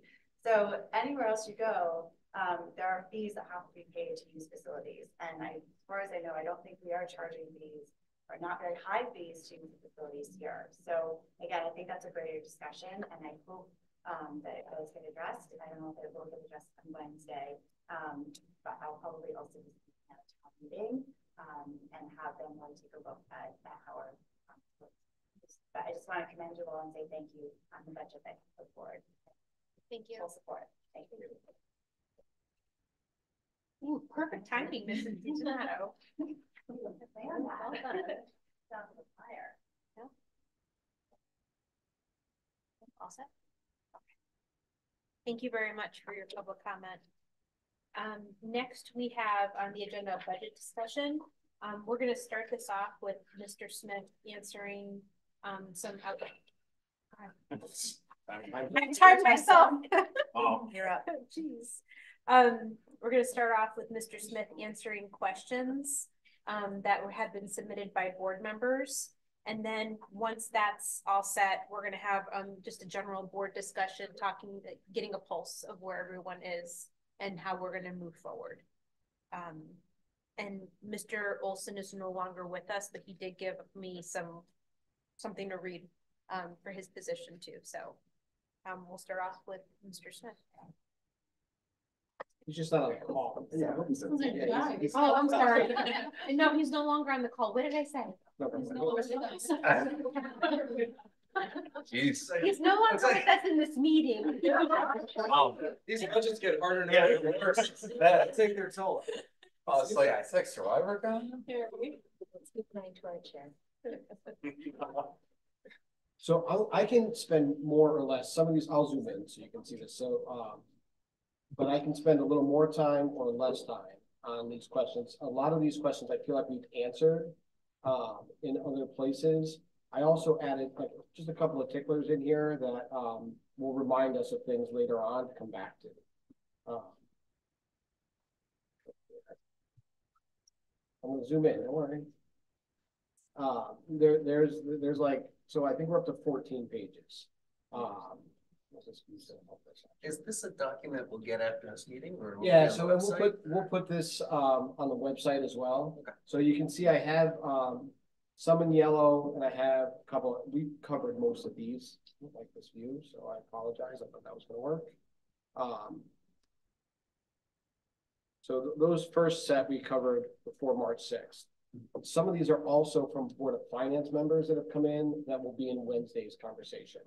Uh, but it got a little um sticky in that some of your questions overlap with theirs and so we dumped them all in this document and I'm happy to, again, send this to you. We'll post it on the website. Um, one question was on the, the, uh, probability that, I didn't edit the questions, by the way, so it's not really seven forty. Maybe we should kind of put a, um, correction in that. But, um, the likelihood, so Hartford knows about this problem. Um, it's, it's a hundred million dollar fix. Um, and while they're sympathetic to it, I just don't know that they have levers that they can pull. So we're not gonna know certainly before you have to for it on the budget. Um, so the, uh, this is really, um, of Finance one that we'll talk a little bit about, but the encumbrances by the end of the year. Um, this is asked a couple of different, um, versions of this, um, but we haven't encumbered everything for the year yet. Um, enrollment, so if you look at our enrollment report that's in your book, um, under each school, it has a number. It's whether it's just the delta for that school. So all of our enrollment stuff is, uh, linked there. Um, Just want to clarify that the, uh, the two math coaches, one of them's in the budget, one's not. So there's only, um, find funding for one of the math coaches. Um, people, I I do have a, a short, short slideshow that I can pull up in a couple of minutes and show you some data comparisons. Um, there's some interesting conversation in there. Um, One's in the budget because one's covered by a grant. correct. And that's. We're that still getting two. grant. Yes, we'll still have two, but all, the budget only funds one. Um, some revenue offsets, um, this came from a couple of different places, so the board controls fees for pay-to-play, parking, and building use fees. Um, the other revenue that we collect isn't, um, controllable by the board. Uh, That came from Board of Finance. came from multiple places. Um, Are we gonna talk, uh, so I know you're going through this, but are we gonna talk about these like specifically? Because we purposefully and deliberately lowered our fees to our students. I'm also an advocate and have been for the last year that we shouldn't be triple charging our town not-for-profit programs to use our schools for things like basketball or swimming, et cetera, et cetera. Cause like all in those fees aren't enough, but we charge everyone all these money. So like, are we gonna walk through each one of these? Because I think it would be disingenuous to sit here and say like, okay, we're gonna lower the fees because we think it's unfair burden to kids to pay to park, and then us to come back and say, well, now we're gonna turn them back on. Like, I felt like we made the commitment to keep lowering it, I almost feel like. Can I, can I just add a comment? Because I think that this was also, I listened to the recording from last week and it was a purposeful question on how we could raise, and it was not from me, I was not here, how we could potentially raise revenue to offset the budget. And I think that to your point, I totally agree. It's a, it's a total dichotomy of where we were last year because this to me says this is exactly where we have opportunities to raise revenue. And we heard for how many years that people had concerns over the facility fees and the pay to play fees. So that's why I'm kind of in your camp saying, at the end of the day, the budget's the budget. And how, what kind of revenue is the school district raising? And we're just shifting it, right? Like the money still needs me. to be paid, right? Like, cause we heard conversations with kids, like they're trying to work second Yeah. jobs, right, to get these parking, and it basically is taking and diversifying our student population even more. For those that have to work a, a little bit harder, or parents can't just say, okay, well, here's a parking spot.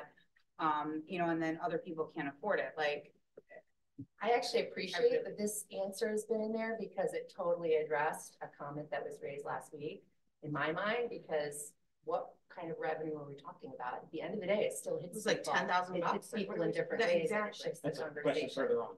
Okay. So my thought is, we're trying not to put a lot of, um, what you do with this information is like the board's purview. There's not really a recommendation from us in any of this, um, or any type of, unless you specifically ask for a cost analysis, we didn't do a cost analysis. So if people ask questions, we're trying to answer them, give people the information they need, and then you can wrestle with where we are and, and So we're holding, I guess, right, the questions like Marion, like on this, we're holding discussion, right, like on the opportunities to increase revenue? Or just waiting to see where people land, or like having that discussion now, the thing is, like, I, like, am I writing down like thirty-seven points? To argue against, or are we having them one at a time? I, I guess, I guess there's multiple opportunities to talk about it, right? Okay. I, I guess, like, if you wanna talk about it now, we can, my guess is that this part, gonna be part of a, a bigger conversation, so if it's part of a bigger conversation, maybe we'll do it at the budget discussion, which is. I, you know, I'm fine either wanna- way, I I'm, just wanna I'm against say, raising For the record, twenty-four, for, I've been on the board now, what, going five, five years, right? The first four, that's all I heard about. Exactly. reducing, so that's where my mind really, I wanna make sure it's very clear to the board. When we talk about raising revenue, what that impact is, and if the impact is that, we're revisiting conversations from four years ago, which is where I do not wanna go. And So, commitments we made to the community, we sat here and we told the community that we were going, we, we did so much. Studies on what our parking and our student fees were versus districts, people brought all this in and we said we're gonna lower it. And like I rewind it and we said, we're gonna keep evaluating to make sure that we are not this crazy number, maybe we'll lower it again. So I just wanna make sure that when we say things here. Right, and we make commitments to the community that we uphold those not only in the next year, but the year after that. There's other tough conversations to have, I think that's fine, but I wanna make sure that we. Remember those conversations that we had with the community, right, and make sure that we're continuing to uphold them, because that's how we keep people's trust. And that's, that's really important. So uh, if they're in a presentation already, uh, we try to reference it. So most of these things were in the um, athletic presentation. Um, Here's the answer to your question. Uh, This is what we've collected. Now, the hard part of this is that before the 21-22 budget, we didn't break out revenue. And remember, you had um, just really the. the We net, we net. budgeted. So you, you didn't know where the revenue was, it wasn't tracked this way. Um, so currently in this year's budget, um, we budgeted ten thousand. Partly because I don't feel we have enough data and, I mean, for twenty thousand dollars, the risk uh, versus the revenue, but, um, as, as Joe and I kind of talked through this again, like we could, um, you, you could estimate another, you know, ten. I'd be hesitant to, to go up too close to this because again, we just started. Um, and then the, the other piece that's in this number is, It's driven a lot by, um, the like the, the number of custodians and the salary rates of those custodians that we move on, that, um, and how we, we bill it out. Um, we do not absorb any of the custodians' fees, but the delta between where the, the number of hours, number of custodians, and kind of our, uh, revenue margin shift a little bit. So this is pretty new to the district, and we don't have more than three years, so that's why we haven't really. Um, and in a ninety million dollar budget, you know, the, the twenty thousand or ten thousand more in revenue doesn't really move a decimal. We also do struggle with not related, typical program special ed, we do a projection on that. And that is very erratic, because as numbers go up, we have less typical, program, less tuition that comes in there, so the revenue side. Um, those are kind of the two big pieces that kind of flip flop. Um, revenue has been pretty stable, at least on the, the rental side, but we do have an offset, as Josh said, there, there is a, there's a wide gap in custodial rates when who takes it. You kind of go against the top salary, which is fair, because we don't unless they lose money on, on, on that hourly. Um, so that's something that. So, so that line item is tuition on typical peers. No, that's, And. I'm, I'm muddying water, that, that's just, that's just rent, that's Just just rent. solely That's rent. Okay. So when Joe talks about, so there's, we have pay to play revenue, you have the tuition preschool revenue, and you have facilities revenue. So if you roll those three together, our numbers are pretty close, because while we're like ten thousand dollars maybe light in our budgeting here, we, we didn't make as much in pay to play revenue. we, we were So, on, like in our minds, we don't necessarily break these three out into like micro slicing like this. We would look at revenue we take in from the programs. And if you look at that on a three-year average, it's pretty accurate. So, but when you slice it, you could reduce the revenue and pay to play by ten thousand and increase the revenue in facilities by ten thousand. Um, that wasn't really an analysis on how we looked at this before. Um, enrollment, someone asked about, uh, how many students from eighth grade go to schools other than high school. Uh, so before we centralized registration, which we did, we did the year of COVID. Um, so we didn't really track this, like the secretary of the school might have a note of where the child was going, but it wasn't systematized. So this is, um, the vo-techs and technical schools, we have very good accounting because we can get it from the state. Where students go, if they go to a school other than that, we have to get it from the parents when they withdraw their eighth grader. So we have, um, last year we have eleven students that chose to go to, a- basically it's a private high school. Um, Westover, um, Sacred Heart, um, and, uh, Cheshire Academy, and one that went to Choate, one that went to the Gunnery, um, a total of eleven. Um, where, you know, on average, about twenty-four percent of our students, eighth graders, go to um, Nonnewaug or technical high school. But that's been pretty stable. We had this little spike here. The question was really about adjusting staff. Um, and it really has no impact on staff here. It might, it might, like, a teacher might teach an extra section for a freshman class, um, or a less section of a freshman, but it doesn't change the overall teaching structure. Um, There's our there. Uh, the substitute line, I feel like we've talked about a couple of times. Um, we increased sub rates, um, a couple of different ways. We added a, a, a lane for teachers that retired from here. We added a certified, we upped the certified line for a long-term sub, which has helped, by the way, with our sub rates. But we voted on that here. That had an impact. And then the other piece is that was part of the ESSER grant that subsidized that. Um, this we, we talked about a couple of weeks ago. Um, teachers don't have the ability to override any account. Um, I'm going to talk about the return on investment, which is like an interesting experiment for me. So I uh, appreciate the question. Uh, I'm not sure the answer will, will kind of um, scratch the, the itch that you have, but um, I think it's an interesting conversation. Um, the the grant program. So the Title One funds had a couple of different things in there. We had um, that teacher residency growth uh, program. That's the state program to help uh, attract new teachers. Um, what's been helpful with that is as that program's grown, they now have more state and federal money, so the cost of districts has gone down. Um, and as we uh, kind of get more mature in our math instruction, we've had some consulting in there, uh, both for math and literacy that we've been able to do some gradual release. So as we are able to um, exit those funds, um, we can bring in that math coach into that Title One. Um, and really, when we met with principals and teachers, um, elementary principals, and, and that was the one thing that they said, if we can't have anything else in the, in the budget, that's where we want to go. And I, I put it in here, I don't know if it's in this one or not.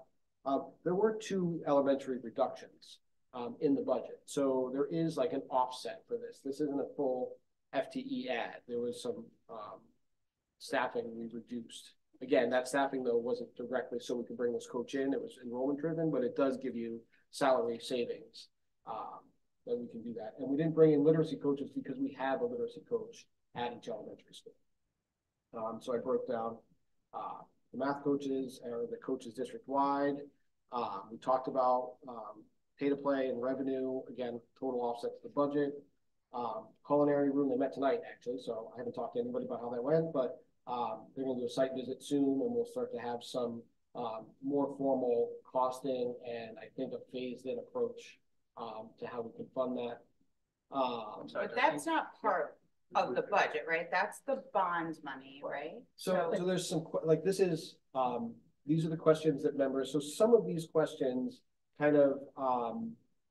I don't, I don't know that I would define them as pure budget questions, but they are probably part of the financial questions that board members are getting in the community.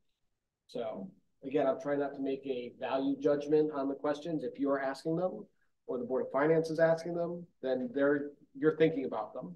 Um, and if they relate to how we fund things in the district, or if we're gonna move things like from the operating capital, uh, like they're, they may interact somewhere.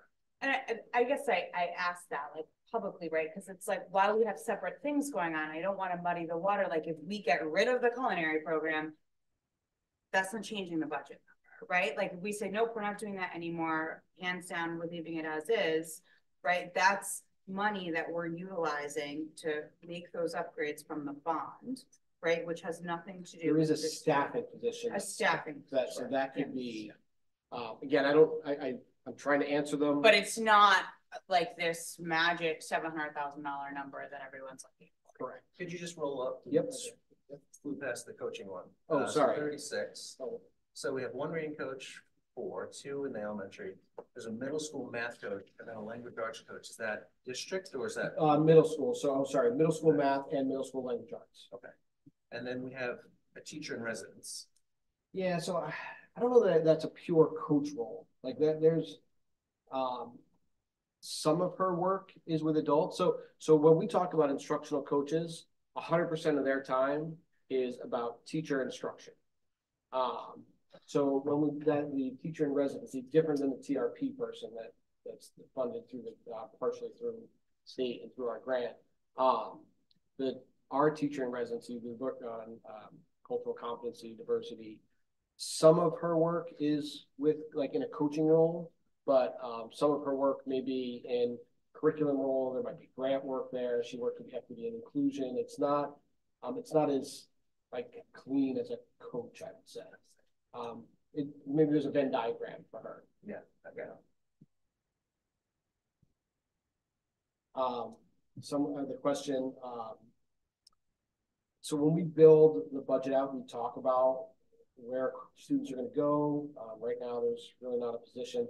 If, if a principal said, you know, here's a position, I'm not really sure we need it, but we're gonna budget for it anyway, like, that's not really how we operate. We start with what do we need and, um, and that's how those two elementary positions were, were removed. Um. Try to reference other questions, because this is where they started overlapping. Um, I don't wanna, I wanna respect the questions people are asking, but, um, if there's overlap. Um, the timeline, again, not directly a budget question, but I know that people are asking some questions around, there's a question about, um, are we gonna fix a school? Um, if something breaks at GES, like, we're not gonna just leave it, like a window breaks, we're gonna replace it. If a boiler breaks, we'll repair it. Like, we're not gonna leave that school, um, or PES kind of, um, to their own until this is all done.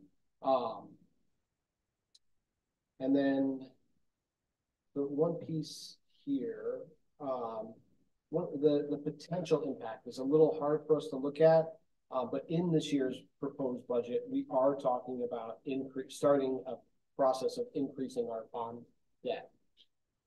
Whatever project we decide to do is most likely going to be bonded.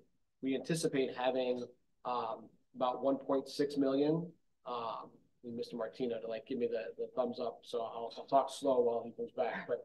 Um, we anticipate that line will, will heal to about one point six million, of which about six hundred thousand will go for the bond that we currently have. Um, we're working on some, um. Potential cost scenarios. There's a lot of moving parts. You're talking two to three years out. What's the bond rate gonna be? What's our reimbursement rate gonna be from the state? If you're talking about, um, like a fifty million dollar bond, um, which would be a, a hundred million dollar school reimbursed at fifty percent. Um, and again, don't quote me on it. This is like working math, right? Um, but potentially, and bond rates right now, I think we're looking at five percent, three and a half percent, four, something like that. So, um, we're, we're, this isn't gonna be my math. We're talking like Barry will do some scenarios for us and Glenn. But, you know, you're talking about a potential bond payment of, you know, two and a half or, or three million dollars for a thirty-year bond. And so if we have one million in the budget, then that two million is gonna hit the budget increase. If you build that over time and we have a million and a half, three million, whatever that is, it just smooths the impact when you do a project. Again, a lot of moving parts. How much is the school? What's our reimbursement rate gonna be? Um, can we pay down just like we're doing now with that, hopefully the, the air conditioning grant? What that will do is allow us to borrow less money, which will create more in that debt service line that we can then apply to other uh, bond debt. So I want it out there so that you have it, not directly related to this budget, but the reason we're trying to add to that bond debt line is so that we can reduce the impact three or four years from now. Um, and kind of smooth that. A hundred thousand dollars doesn't move your budget all that much, um, but a million dollars does. Although, to be fair, there's a price to that. Right, Right, Like, you're, everything. you're paying for it now, right? So if you're smoothing that gradually a hundred grand every year, that's a hundred this year, that's two hundred next year, that's three hundred the Oh, yeah. following year. All of a sudden, that's six hundred grand to avoid the sticker shock, but that's not like, it's not a freebie. No, no, Right, like and, that's- and it's not gonna sit there either though, so like that might be, and again, I- this is a board, board conversation, but that might be fixing air conditioning units while we're kind of building that lineup. It may be the turf field that's gonna be replaced in two years. Yeah. Um, it may be a second turf, like, we have plenty of places that we can go, um, so that that money's, I think the, the purpose of that isn't just to do some project three years from now, but but again, this is, I wanna put it out there so that we can have an informed conversation. We, we could, I mean, we could, we could absorb the, um, the bond, um, debt service as it comes off and buy down your, your annual increase. But then again, it, it's gonna come back somewhere. Yeah. So, um, th- this is more about a philosophy about how we, uh, build a budget and, and manage it over time. What, um, and, and honestly, even if we wanted to reduce it now, I'd like people to not be surprised. In some other districts that, that haven't done this, they build, um, a renovation or a school and you would have like a nine percent spike and everybody freaks out. So if we choose to do that, that's fine, but I wanna like manage. Yeah. Eyes wide open. I was gonna say, people will laugh if my administrators are, are, um, um, but I like to manage expectations, you know, and, uh, surprises are not good for anybody, and so I probably say that more than I need to, but, um, I, I wanna be transparent and say, here are the choices, like, I think Joe and I are rational people, um, but I'm, I'm not like some kind of brilliant genius, like, you guys can, can wrestle and, and decide how we wanna manage this. I don't wanna go back to a place, um, that, that we inherited a little bit, where we didn't have a plan to fix stuff. If we have a plan and we choose to adapt it or whatever, that's fine, but it should be all of our plans so that whoever's not here, um, understands how we got there and, and why. Um, and this is a, a couple of different ways about the unencumbered balance, um, and, and how we spend that and, and what's there, um, between now and the end of the year. So one of the things that, um, the debt service placeholder that we currently have in the budget, um, April tenth, I think, is when we issue the bond. Um, Correct. Well, well, we'll, we'll know our official payment. so, yeah, we'll know what that payment and how much of it we're gonna use this year, and then that number will become clear by like mid-April. Um, You also have the excess cost, the final excess cost. Should probably by May, April, May. And then we'll know if Hartford's able to move that, the sixty-eight percent is what we're anticipating now, that's creating that six hundred thousand dollar hole. We're hoping the hole is sixty-eight, that's. Yeah, right, we're hoping to at least it doesn't get Hoping worse. the hole is sixty-eight. Could, could go lower. Um, and there's a bond question, grant reimbursements. Uh, so the HVAC grant, again, this is a matching grant. Um, so if we get it, um, the money for the matching piece will come out of the, um, the bond, but then it will basically just reduce the amount that we borrow. We can't then reinvest that. That's not how, we don't have that option. Uh, but it means that we'll save money in our debt service line. Um, so this one I have, I took a picture tonight. I, I need to build just some slides. Um, but basically some questions that, that about staffing over time. So the, the short answer is if you go back to every budget presentation um, from 2023 to today, almost all of those budget, all those staffing positions are accounted for in there with the rationale of why they're here. They were all approved by the board. They were all approved at referendum. So there's a clear path. You get into some fractional pieces um, where we have staff that are in multiple buildings, and so I need to tie out where some of that staffing goes, um, which I appreciate that we now have an HR department that can, one and a half, but they're able to help me. Um, and then I, I'll say this often, there's not a direct correlation between the number of students and the staff and, and the staff. As you saw, like we went down in students, but we're adding an ML teacher because we have more multilingual students um, that is independent of the number of overall students. Our special education numbers change, independent of the actual number of enrollment. So you can't tie, and even the, the 116 students, that's over seven schools and really 14 grades when you think preschool to age 22. So like there is no direct correlation um, into those two numbers. Is there any scenario where it ever goes down? We, we're, we're cutting two this year. But you're adding five and a half on top of it, so. Four and a half. Well, one is grant funded, but it's a Oh, new good. position we're creating. Yep, okay, And fair we're enough. picking up two from the year before, so Yep. maybe the two from Yeah. the year before wash out the two you're eliminating. Yeah, well, yeah. So you have yeah. five and a half Yeah. new positions you're creating. So if you go through that same scenario with the. Walk through the five minutes. Um, Two math coaches, a Yeah. special education teacher, half a music teacher, a culinary teacher, and an ML teacher. That's five and a half new positions that don't exist currently. Yes. Now, we're losing two on the elementary school, but actually our average class size in elementary is as low as it's been in five years, even with the reduction of two teachers. So, so like that's where like that enrollment correlation. Right. So the other ones are expanding programs. Right. So, but- but they're, they're, Understood, with, yeah. with the exception, of- I would, well, I guess technically, I would argue that the ML one really isn't discretionary because we're, we're meeting minimums, but, Understood. but technically, I think it could be. So, I mean, I think that's why I put them in there, and then you guys can just, like, we don't have to expand the culinary program, that's a choice. The special ed teacher and the ML teacher, I would argue, are less discretionary because there's mandated services we have to, um, respond to, but really, the others are discretionary. I have to say, this is where I, I really struggle because culinary is part of the bond. We heard year over year, time and time again, this is a high demand class, the highest in the department. Well, the pull through is it, it's, it's, you know, it's economics, you know, supply and demand. If we, we're gonna redo the facility, that's great. But if we're also talking about managing expectations relative to be, to having people actually be able to take it, I would expect that there would be more offering and the direct piece would be we'd need to have increased instruction. So I think we, we have to be very clear in our messaging, going back, I think to what you were saying earlier, Shannon, if we're endorsing some of these things, we'd like to see a positive impact. I'd like to see a, a bigger tennis team once we get new tennis courts.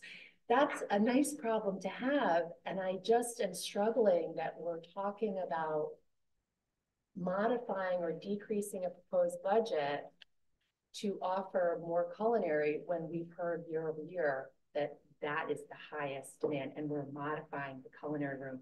So I feel like there's this oscillation that's happening because we're now seeing, well, there's an impact to that. And yeah, there is because there is a high demand for it and we're, we're doing everything to support that demand, which includes providing additional instruction.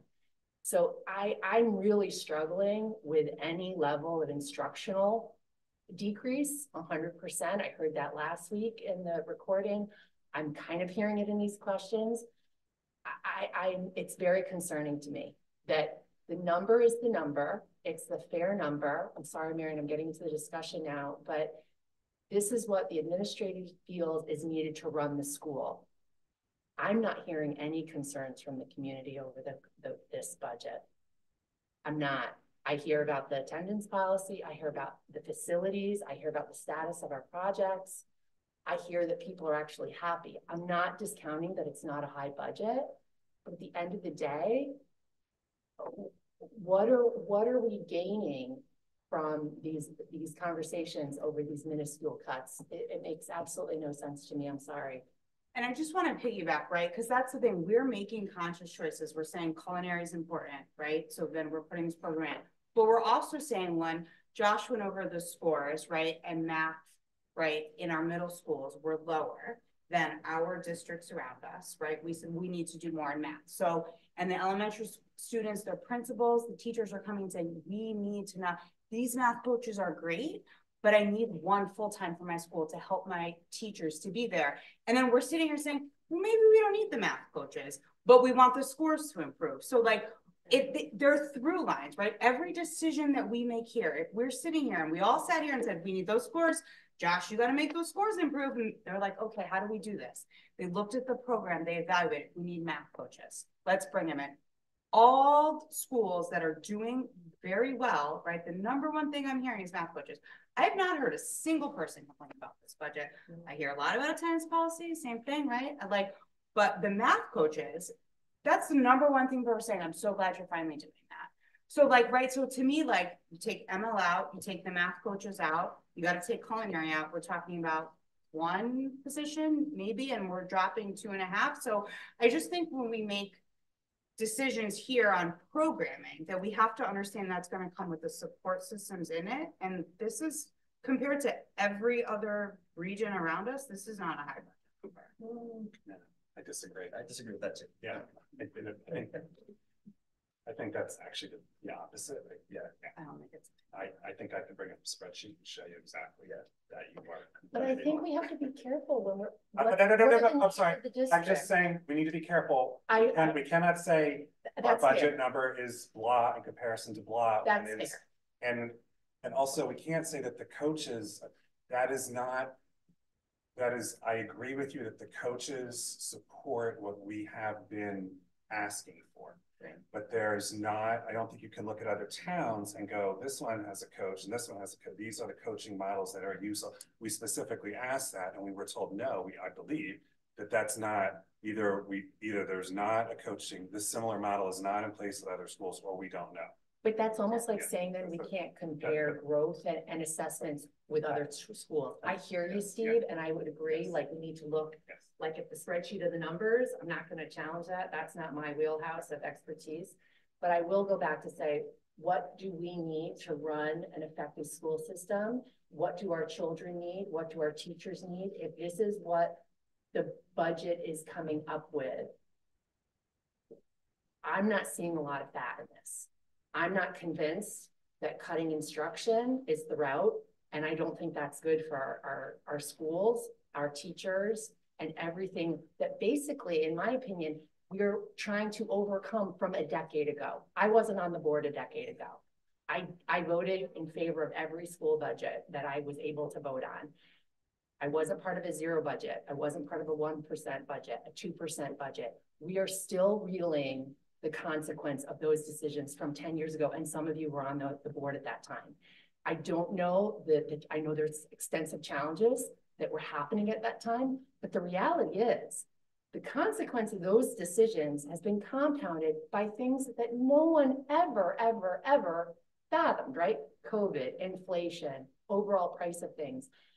I know this number is high, but I sit there and say, milk is high, everything is high. And I know at some point the, the purse and the wallets are empty, but this and our education is not a place to cut it. And so I, I just feel that this is a little bit of a perfect storm, but if we continue to kick it down and cut and cut, it is going to be compounded.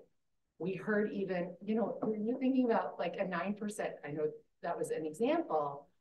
We're talking about six and people are upset about it. Imagine if, if we don't invest in these things and people see a nine or a 10. I think that's speculation. It you could- You could, you could also just say, why am I gonna give you a new school? You've had these run-ups in the budget now, two, three, four The years. are gonna fall apart. Six, six, six, six. And then it's gonna be a crisis situation. And sometimes a crisis gets a nine percent. So I, I, again, I'm not, I, I'm just saying, we, I, we can't speculate out what someone might do. That's fair, but we can look at the past and see how it's impacting our current situation. And I do not want to be in a situation where we're continually cut a budget only to further contribute to a legacy issue, frankly. I'm sorry. I just see that we're on page four of ten questions, and and I'm just wondering if we should refocus back on this and then get a. Is mine? I can. Um, I will just jump in though, to say, and I mentioned this last week, you weren't here, uh, Sharon, but I'm very sensitive as we're talking about possible reductions to this proposal, to using the word cut. Because a cut to me says, you know, there's five and there's four point two million new dollars being requested here that we don't have today. A cut to me is taking away something we currently have. Um, I think it's fair, like when you bring up zero budgets, that was actually cut saying you have this many teachers, we have to take away five because we have inflationary measures and we can't afford to be zero, something has to give. I don't know, I don't want to speak for everyone, but I want to just be very clear, when we say cut, that's not taking away positions we have necessarily. I It is Taking away services from our children, that's a cut. If we, if we remove any of those five point five positions, that's not a cut to me because it doesn't exist currently. It is a disagreement with the recommendation from the superintendent, but that word cut is, is loaded, especially when we use it in uh, reference to those zero percent budgets where the cuts were real, where it's like, I'm taking this away from our students now. So, but then why are we doing a culinary room, right? Like, we're spending half million dollars-ish, I don't know what the number is, I'm not on the committee. Like, whatever the number is, right, then we should stop that completely and redeploy that to seats in the auditorium, right? Something else then, right? Because if we're gonna sit here and have that conversation and say, well, we are gonna start cutting programs, not including, that's a cut to me, right? We're gonna say, okay, we're gonna do this culinary program. It's the number one thing requested at our high school. We're no longer investing in it, so you're not gonna get the teacher. We can't put a new culinary room if we're not gonna do the teacher, then we need to redeploy that money. And I think that is a disservice to what our administrators are telling us that the children want. And the community voted for, just putting it out. My comment was not in response to any individual thing, just that the word cut is being tossed around very freely, especially in conjunction with zero percent budgets. And I think it's a vastly different situation. Okay, now I got it. Yeah, Turn back in. all right. I was gonna push, but I'm, I'm gonna go back in. Um, I think when you say that we just cut the culinary project and, you know, give the money to seats, that's something we've been trying not to do because voters voted for that, so we're trying to do that. But when you talk about culinary, and I believe early childhood education would be part of that, um, we have a teacher shortage. We also do a lot here for AP classes, we do a lot for athletics, we do a lot for a lot of things. It is a smaller area, but it's a pathway to furthering someone's education or to giving them an opportunity to see if they want to go into that. So it is such a requested class and area. I don't have a problem with that position, um, especially in light of the fact that there's a wait list for kids to get into, um, to that class. So to me, that would be something that, I mean, slash, I'll probably be in favor of it. But I think it's because we do support kids in so many other areas. It would be a shame to have passed that in the bond, be working on it, um, and not utilize that space and give kids more opportunities. Um, so that was just one, that was banging. I'm for the culinary, like, I mean, I'm, I'm not personally for it, but I'm, my vote is for it. I know, right? right? Like, I think like when we, we were Yeah. getting kind of in the thick of it there. Yep. And I want to make sure that. we are spending Yeah. the money, right, this, the whole time I've sat on this board, the same thing with the bathrooms, right, that became this thing, why did you vote for bathrooms? Like, A lot of pushback about that at the LMA, at the LMS portables, if we're gonna do something, we need to do it right. Right, like, I'm not in favor of half doing things or partially doing things, we make a decision as a board, we stand by and do it right, if we're gonna do the culinary room, we're gonna staff the culinary room. I'm not for the culinary room, but I'm gonna vote yes for it because that's what the students want. It's not my personal preference, but this isn't about me. This is about the community and what they want. So that's why I'm voicing my opinion about it, right? Because I'm an elected official to sit here to reflect my community, not my own personal. So I'm yes for the that- I didn't want. it Yeah, to no, be- I know, I knew you could, that's not what you meant, but like, I just want to say, since we were getting the thick Yeah. of it, um. I guess that's it for now. At what point does it, since you said it, at what point does it stop? In the sense that if, if everyone, yes, okay, everyone wants to take culinary, like, is there something that someone doesn't want to take? That, should that, should, should that then be cut? Whatever that is, like, I don't, I don't know, like, cause you, you can't, I don't know, if I mean, you probably watched last week, but if the budget was seven or eight or nine percent, like, at some point, you have to go, as much as I, I want this, and it is a reflection of our, our strategies, like it simply is too high. So I think it is, it's very easy to have an additive discussion about, well, we need to add this, we need to add this, we need to add this to support, and I think in, at a six percent, we abnegate our duty a bit when we don't ask the tougher questions about what possibly might we cut in order to be able to fund, uh, the, the classes that the kids, kids want. It's a five point eight three percent. Sorry. There's a big will- difference will- between five point eight I three will- and six percent. Sorry, All right. five point eight. And I think. And there's nothing here to Hold on, hold cut.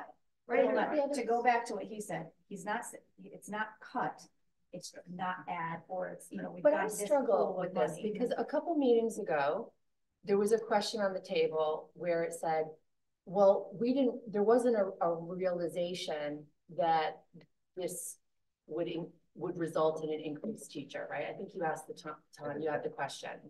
To me, and, and maybe I made the alternate assumption, because I'm thinking we're we're redoing a culinary room, we don't have enough demand. I heard that perhaps, you know, this would, you know, get freshmen, and I'm sitting there saying, let's just level set expectations and let's try and get seniors and juniors in, right? So I'm sitting here saying, of course, we would expect that there would be additional need for, because how can one teacher that's Right. already teaching the most Right. popular class be able No, to I instruct? completely disagree. I saw the exact opposite. There's one teacher, the teacher teaches five sections. I don't care if you have redo the kitchen, don't redo it. There's still one teacher teaching five But then sections. we can't be talking about kids can't get into the class. They, they, they can't, they haven't been able to get into it for ten years and we didn't redo the kitchen. So redoing the kitchen. does- I agree, but that, didn't but then something. demand for the Yes. class Yeah. goes out the window, right? It's not, okay, it's filled, we're gonna up the It's- class, it's a life We- skill. I'm mm-hmm. for the culinary. I think that this is something that speaks to what I resonate with what Shannon's saying. You know, we are moving forward on certain initiatives, but we're looking for opportunities to cut. I hear you, Steve. I know it's a big number, but you also know the consequence of the number being too low, right? And I, before I sit here and speculate and say, what could, could we cut now? I would rather say, let it go to the community, and if it doesn't pass, then we have some significant conversations, which I'm sure Joe and Josh are already talking about, and see what, where that would be. I, I just don't know why we're at this place of trying to just trim in places where, to me, it comes into instruction. And that's what I picked up from last week when I watched that tape. It sounded like that there were people in this room that wanted to cut instruction. And I struggle with that wholeheartedly, whether it's class size, whether it's the different variables, the complexity, special ed, or um, the need for um, uh, structured learning and individualized learning. Those are all nuanced levels of education that didn't exist 20 years ago and 30 years ago. So that does take more time. That does take more teachers. So I, I actually am I'm struggling to understand where we think we can cut and still actually continue to at least keep our schools somewhat good. Are you guys hearing from the community? No. Like, no, no. I've not heard either way. Oh, you're not heard either way. Have you heard that people feel? Heard some things. Okay, so that's what, cause But that's I what, don't like, wanna I'm use that as, trying to, Yeah. But that's our job. I mean, like our, our job, like, right, so we are here on behalf of people, right? Cause I have not heard, and maybe this is early, whatever. But I was at a breakfast with Ed St. John on Saturday morning and he told me, good to go, rocket through. great number. In the environmental inflationary pressure we are, like, I'm, I'm ready to vote right now, Let- let's do it. And I think we should vote it early. I just, I don't know what we're talking I about. would, I would say if, if Ed St. John and, and the other, and stuff, if they were all for it, that would, that would really impact, I think, if they were for it. He Um, said it in front of twelve people and with that I was standing. But, uh, if I heard it with my own ears, but. I'm gonna um, record. But I will say though, that I've actively asked people that I know in this community, like, what are your thoughts? Crickets. I think my worry is that we, me personally, I lived through failed budgets here as a taxpayer, as a parent. Um, part of that was apathy because budgets had passed for a while and it was apathy. So that's where I worry that are, have we passed so many that people are apathetic and this happens to be a high year? Um, do we have a good finger on here on the pulse of what's going on? And I wouldn't make a projection. I'd like to wait till we have the um, the group here with us on Wednesday and see what they have to say. Um, and again, my question last week was, give us the numbers. What's this gonna cost the average taxpayer? Like, I know that's a hard lot of math and whatever that they don't wanna do, but is this gonna cost people an extra ten dollars a year? Is it gonna cost an extra thousand dollars a year? That might sway how people think. Um, I don't know, but that to me is a part of the equation that we don't really get into. Can I just say though, so even if we could shave any. I don't know if that makes. There's always a bottom to the budget, right? Yes. Otherwise, it's, as Tom is saying, it's excruciatingly painful bleeding, right? So at some point, even if it's, and I'm making this up, a thousand dollar, mm-hmm. right? Shaving a point zero one or a point zero two, that's gonna have very minimal impact. That's what I on the want, that's dollar what I wanna hear. Okay, That's, I mean, that's what I wanna hear. How is, what's the impact going to be? But the- Because but the- that's what we hear and public. that's fair, Like, we can't afford it, we can't afford it. Okay, but is it ten dollars or a thousand? But then you have to then be prepared to bleed the budget. Because if people, and I'm, I'm not, and I think it's fair to say, what's that number? And what's it gonna cost me? Hundred percent, that's fair. But if you have in your mind what your number should be, there's an impact, and then we're back ten years ago. And that would be devastating, right? So I think we have to also level set expectations. Everything does have a high cost. Mm-hmm. Prices have not dropped, even though inflation, I agree a little bit, you're the financial person, but mm-hmm. at the end of the day, what are we here for? It's to educate our children and, and that adds value to our community. And I think everyone is committed to that. I just think we have to be very, very careful about what it is we truly need. And I would go so far to say, I think that not only is this fiscally responsible, I also think it's not as high as it could and should have been. So I think that it could be higher, right? As someone who has kids in the school system, I would want it to be higher. This is the budget that was presented. I feel very confident with the presentations and the amount of forty-two, we're forty-two questions or however many. I'm good. I just, for me, I, I'm just conscientious of when we could potentially work to pass the budget. That's just a question I put out there. And I just wanna like, right, level set on top of that, because that's exactly it, right? Part of this shift that people are worried about, it's because the ADM swings our numbers so much that one town, right, gets a bigger impact essentially every year than another town mm-hmm. because of the way we're shifting back and forth, right? So that's maybe a secondary conversation, right? We move the decimal point in, we try to smooth this out because then it pits the towns kind of against each other. Last year, Middlebury got a bigger percent of the number. This year, Southbury gets a bigger percent of the number. When in reality, right, we shouldn't be managing to the numbers. We should be managing to our need. I'm with Sharon. I don't think this budget has enough for my kids, right? I think we could have done more for this community. I would have liked to seen seats. There's a lot of things in this budget that my, my needs to be kids, my kids, middle school is asking for microphones, right? Because they don't have microphones to run a theater program, right? That to me is a miss on our part, that I'm now donating money to a school program because they don't have what they need because we aren't giving them enough. I Or don't Did they think, ask for it? Did they What? ask for it and was it denied would be my first question. I don't know. Was it Because we get asked a lot of things, and my first question is, did you ask for it? And was it denied? Because that helps our conversation here. But what I'm, but what I'm saying, I know, right, like, there's a lot more things that I think we could do, programs we could roll out, and like, I would have been okay with a higher number. Everything is really expensive right now. Everything's really expensive. Everything's gonna get a little bit more expensive before it kind of drops down. That's the space we are in. Um, right, and, and things are kind of level setting off of all those years of kind of free money. We, the budget's always going to go up. Things are never, there's never a time and space where it's like, oh, that got cheaper. Like nothing in life is going to get cheaper. Everything moves forward.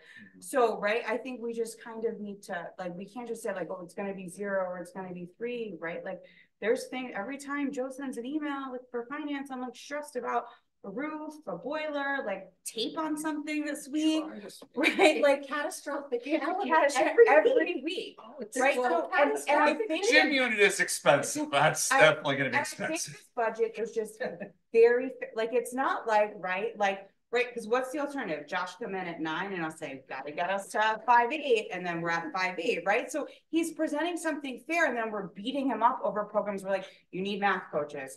We need a culinary room, and now we're like having these conversations about it, it's kind of like counterintuitive, right? Like, you know, we're So, deciding to be transparent. It's not necessarily counterintuitive because we are, we make, you know, we know what we want and then we kind of don't see the price tag until now. Yeah. So Mary, I- I- Richard's trying to get his hand. Yeah. Like, Yeah. Go ahead, Richard. May I speak, please? Yes, go ahead. Okay. First thing I'm gonna ask is I'm not interrupted by him. That's number one. Number two, I wanna answer your questions. Number, it was never a zero budget from Region fifteen, as long as I can remember. And I've been involved, I've been involved in town government since the eighties. There were times when the budget was voted down, but screwed up the town of Middlebury because the Middlebury budget is based on the school budget, of course. We had a very difficult time between the time it was fail, fail, fail, then finally passed. I think it was in uh, the series of the early uh, 2000 when the budget was 1%.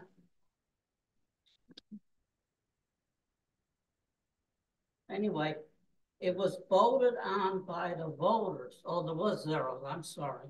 The- voters. There were zeros, right? The voters voted the, the budget down, not the Board of Finance, not the Board of Education. It was done by the voters.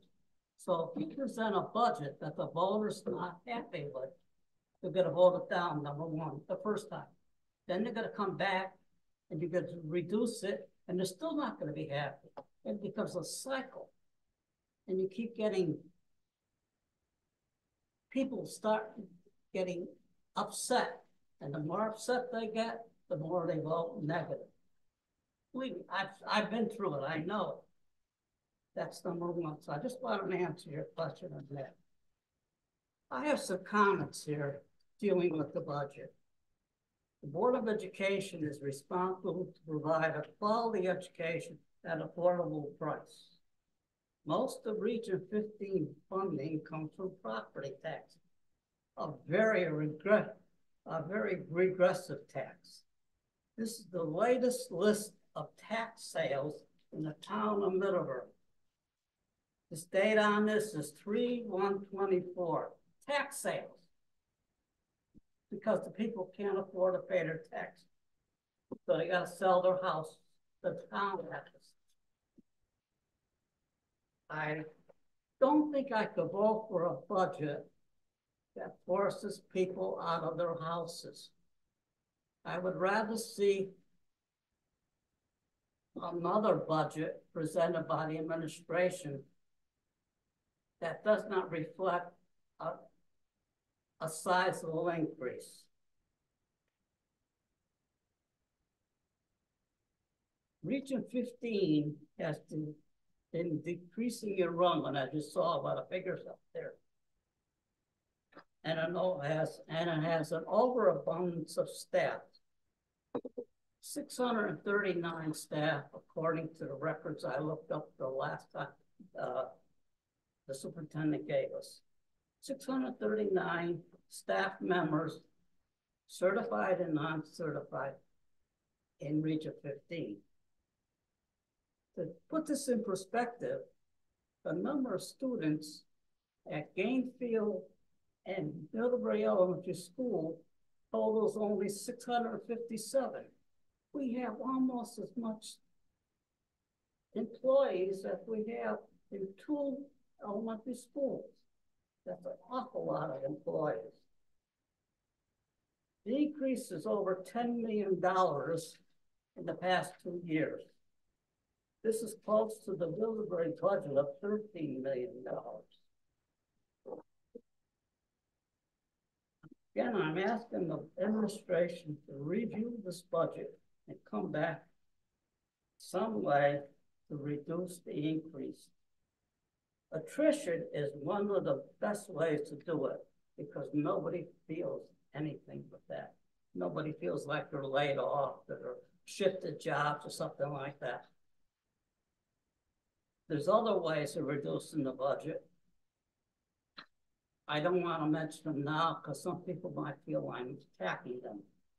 But uh, I'm hoping the administration could find more ways to comment in with a lower increase in this budget.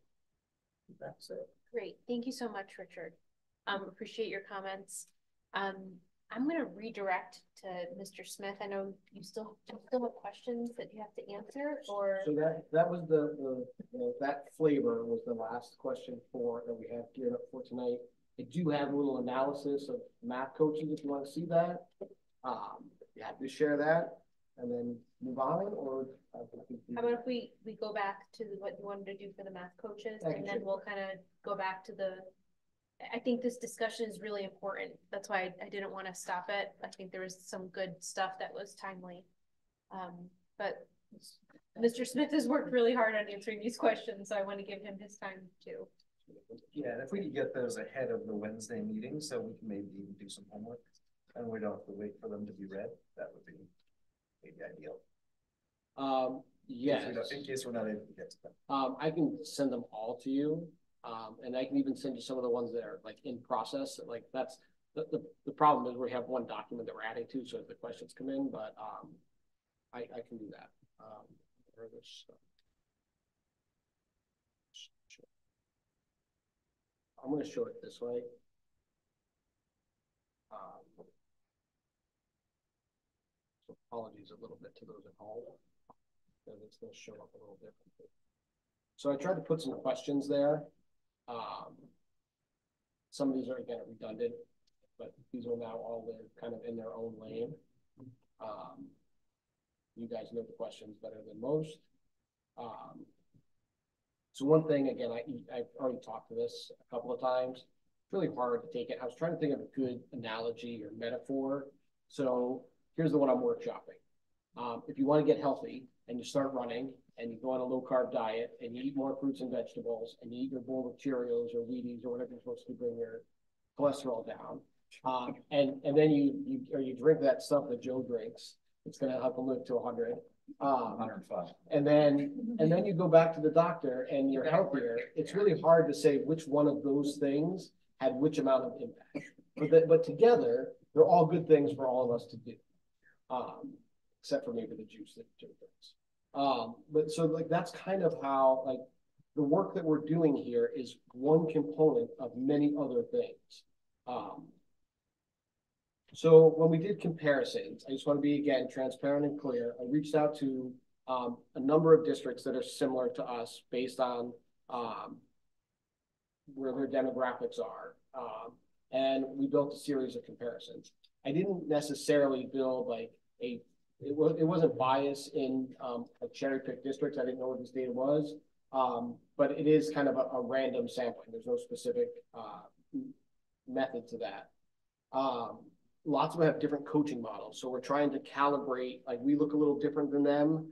Um, some are bigger than us, some are smaller. There's a couple that have all their schools on one campus so that it's easier for them to travel. So I try to calibrate for some of that stuff.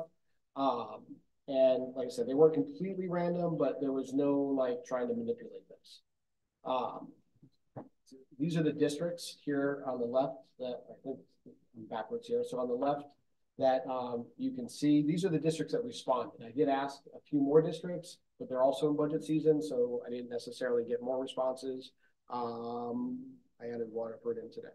Um, so you'll see that everybody in this comparison set has some version of coaching or instructional, like Avon, their curriculum specialists, they're a little different than our coaches, but some version of support.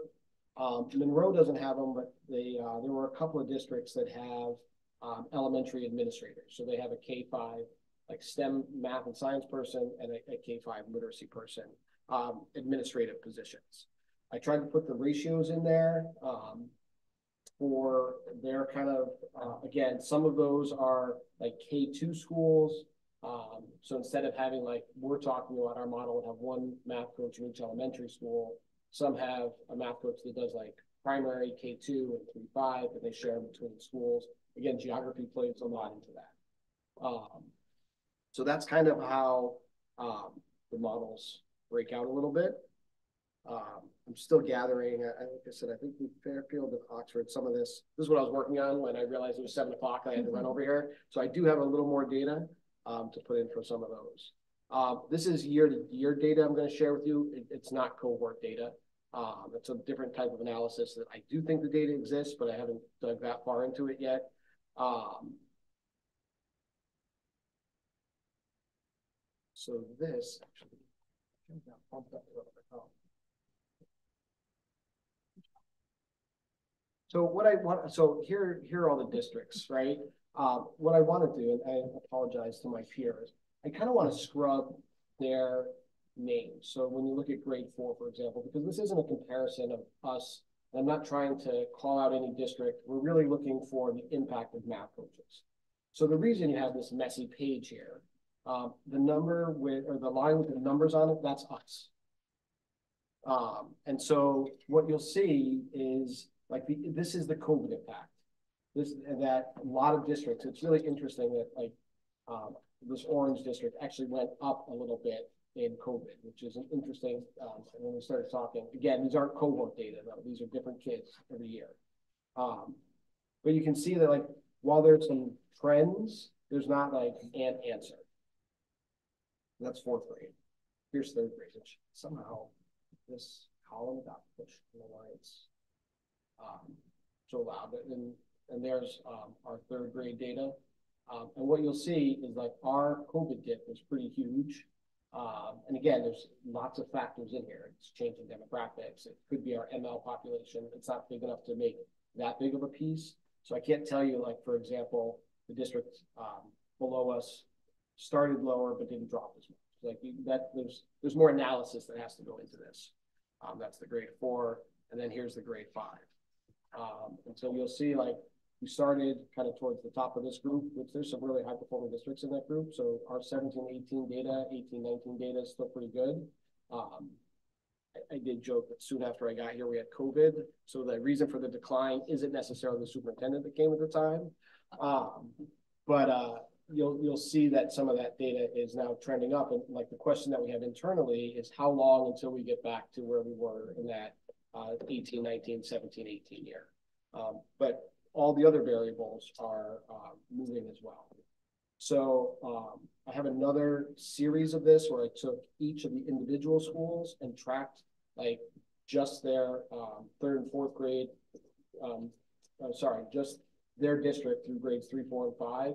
Um, again, I think like it's an interesting analysis question, but I don't think it's going to give you like a clear, if you do this, this is going to happen and it's going to happen in two years or three years. Um, what's also interesting is I now have like 12 friends that we're going to talk about this data and like, what do you think some of the factors are?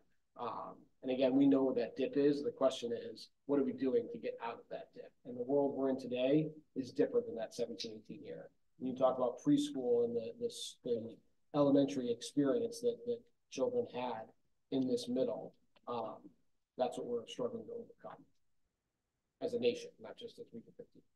So anyway, um, that'll be posted. Um, I'll clean up some of those slides and get them out there. Um, and we'll put the questions online too. So. Okay. Thank you very much.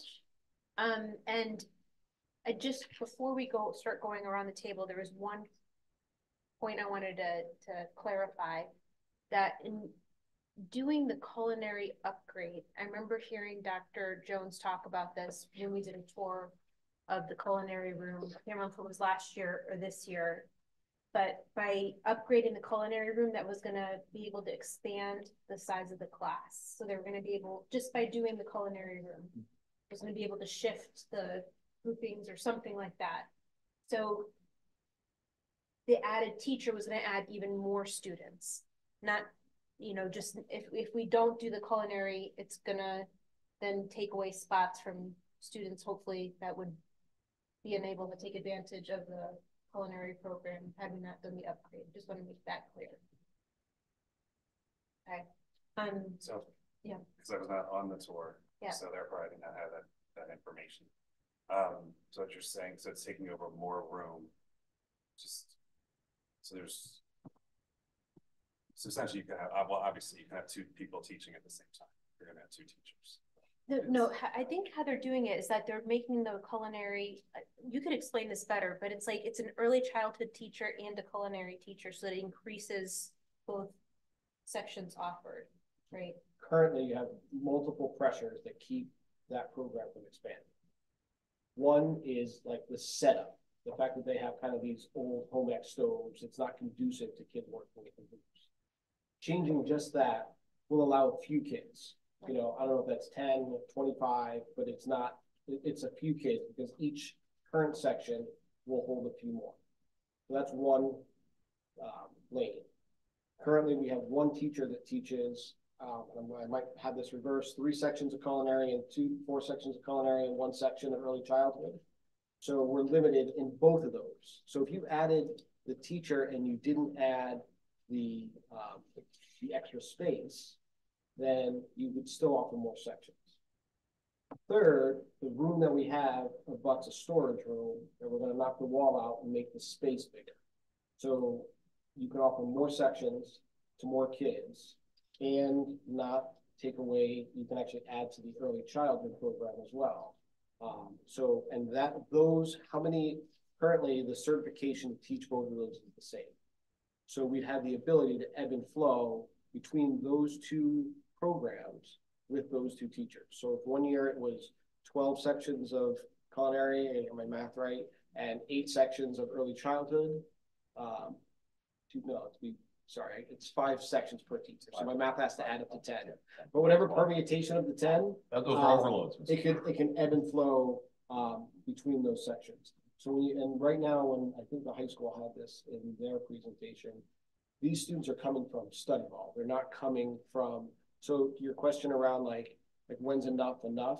So when we have the courses, and it doesn't have to be hundred percent, but when most students are able to get courses that they need to graduate or that they're interested in, and they're not in the study hall that they didn't choose to be in, that's when I would say a comprehensive high school has enough programming to meet the needs of their students. But it's not like a year and a date. It's gonna be based on demand. And there may be times, and this has happened, I, I don't have the knowledge in my head, but my guess is there was times where we offered other electives or programs that we've sunset and we've introduced new ones. So that's not always a just add, you know, it's really driven by student interest and, um, our capacity to offer courses that they need. And sometimes it's driven by mandates.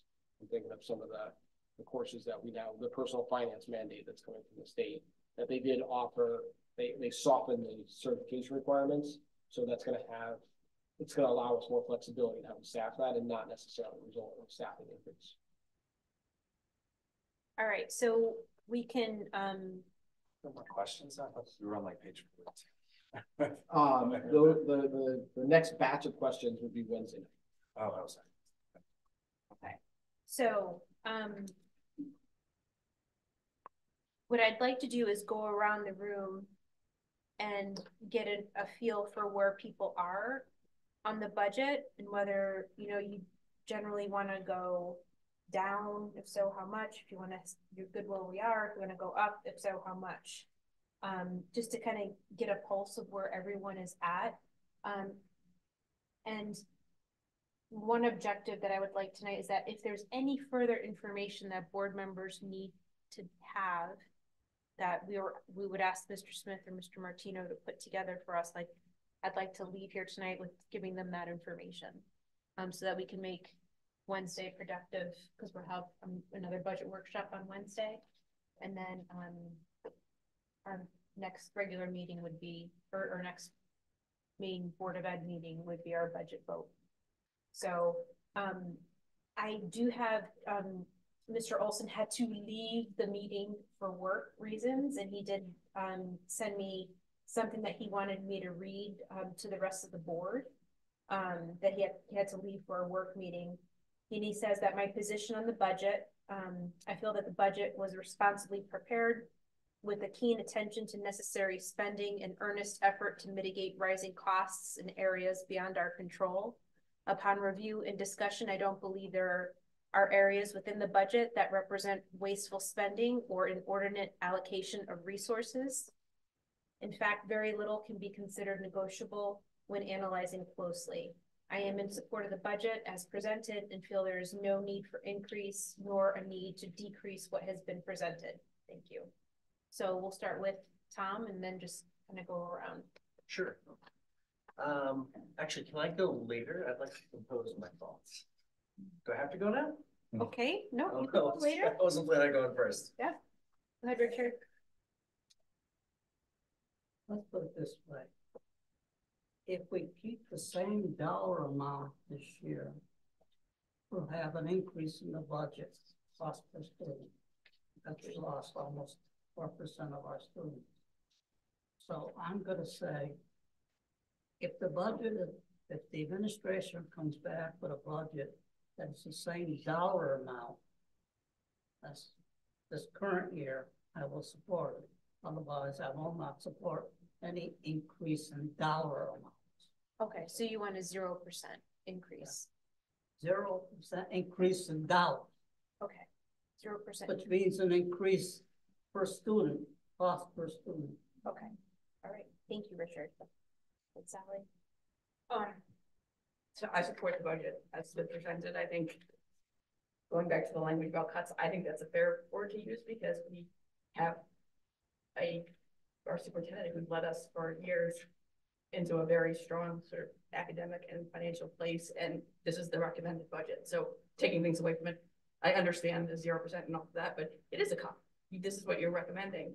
And I put my trust in that, and I've done sort of a lot of asking around and background research myself to sort of see if there are squishy areas or places where things can be tightened, and A, it doesn't seem that there is, and it would be, if it is, it's such a small um, small amount that really, I think, for me, I'm very satisfied that it's responsible, it's appropriate, and I'm completely in support of it, and I trust you.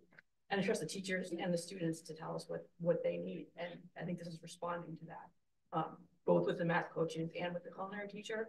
Um, I'm not someone who's wonderful in the kitchen, but as I was getting text tonight before cooking dinner, I was microwaving, but, um, but I think, you know, just the one thing I would add on, on that, on that piece of it is that, you know, we, when I look at our theories of action, it's welcoming, inclusive, trust, collaboration, engagement. There are a group of students, there are students where culinary and that, those courses really are their source of connections to the school, to the school community, to the teachers. And so I think that's not captured in numbers. It's not captured in test scores and maybe some of the things on the more elaborate, you know, indicators of, of where we are. But those are those are the things that matter to students, to individual students. And to me, we're seeing that need, we're seeing that ask from from the school and from the students. And to to turn to turn away from that to me just doesn't seem like it fits with with our theories of action. So I'm in support.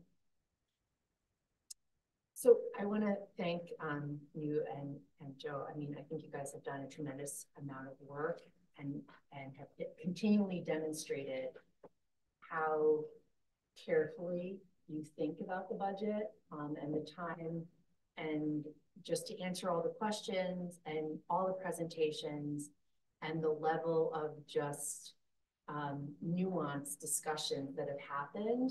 And so with that, I feel very confident that the budget that you have presented us has been to been determined through your analysis as what the school needs, what the region needs. Um, I respect everyone in this room and their opinion, um, but wholeheartedly, I feel that, um, hundred percent in support of the budget. I think it is a high number, but everything is high, and I think that we're overcoming a lot of different struggles, legacy struggles. Um, and this will position us to, to at least continue on the path towards excellence, right? Um, and I really do appreciate everybody's work on this, um, because I think that it's hard to talk about what, what is needed for the district to run. Um, and I think that was put together with a lot of care and attention, um, for the administrators, for the staff, and more importantly, for the students, um, and the community. So thank you for the support. Um, I guess I, I just want to push back on a couple things I've heard um, as we've been having this discussion. And one of them is that um, this 4.8 million increase is, is new stuff. It's, it's all new stuff that we're, we're adding to the budget this year. I think we have we have all understood year over year that when we talk about, say, a zero percent budget, such as Richard would recommend, that that does mean cuts because we have contractual obligations. Um, and we have, um, you know, obligations to our students that we need to meet. Um, and so zero percent is saying we need to make cuts to make up for those other things that we, um, those other obligations that we need to, to, have. Um, and so I would push back on that whole 4.8 million being things that we have now that are, are, things that we don't have right now. A good chunk of that 4.8 million, and maybe this is something we can ask for or, you know, um, expand on, but a good chunk of that 4.8 million is just contractual obligations. And I was looking, I was on, my phone here and I was looking for you know, there was a number of a number of paras that this budget has to absorb, the paras that were added over the last year to accommodate for student needs that were added over the last year that now have to be absorbed into this budget. So, you know, these are things um, that I don't think was just like brand new in this budget. We we just cut, say, culinary enhancements and say we remove from the ask, we uh, remove from the ask culinary enhancements or, um, you know, some of the line item increases in the capital budget or, you know, our contributions to the pension fund. I don't think we get down to minus 4.8 that way. You know, there's there's a certain amount of this that is just contractual obligations. There's the money that we expected to get from the state that we didn't. There's things in there that are not levers that we're going to be able to pull easily.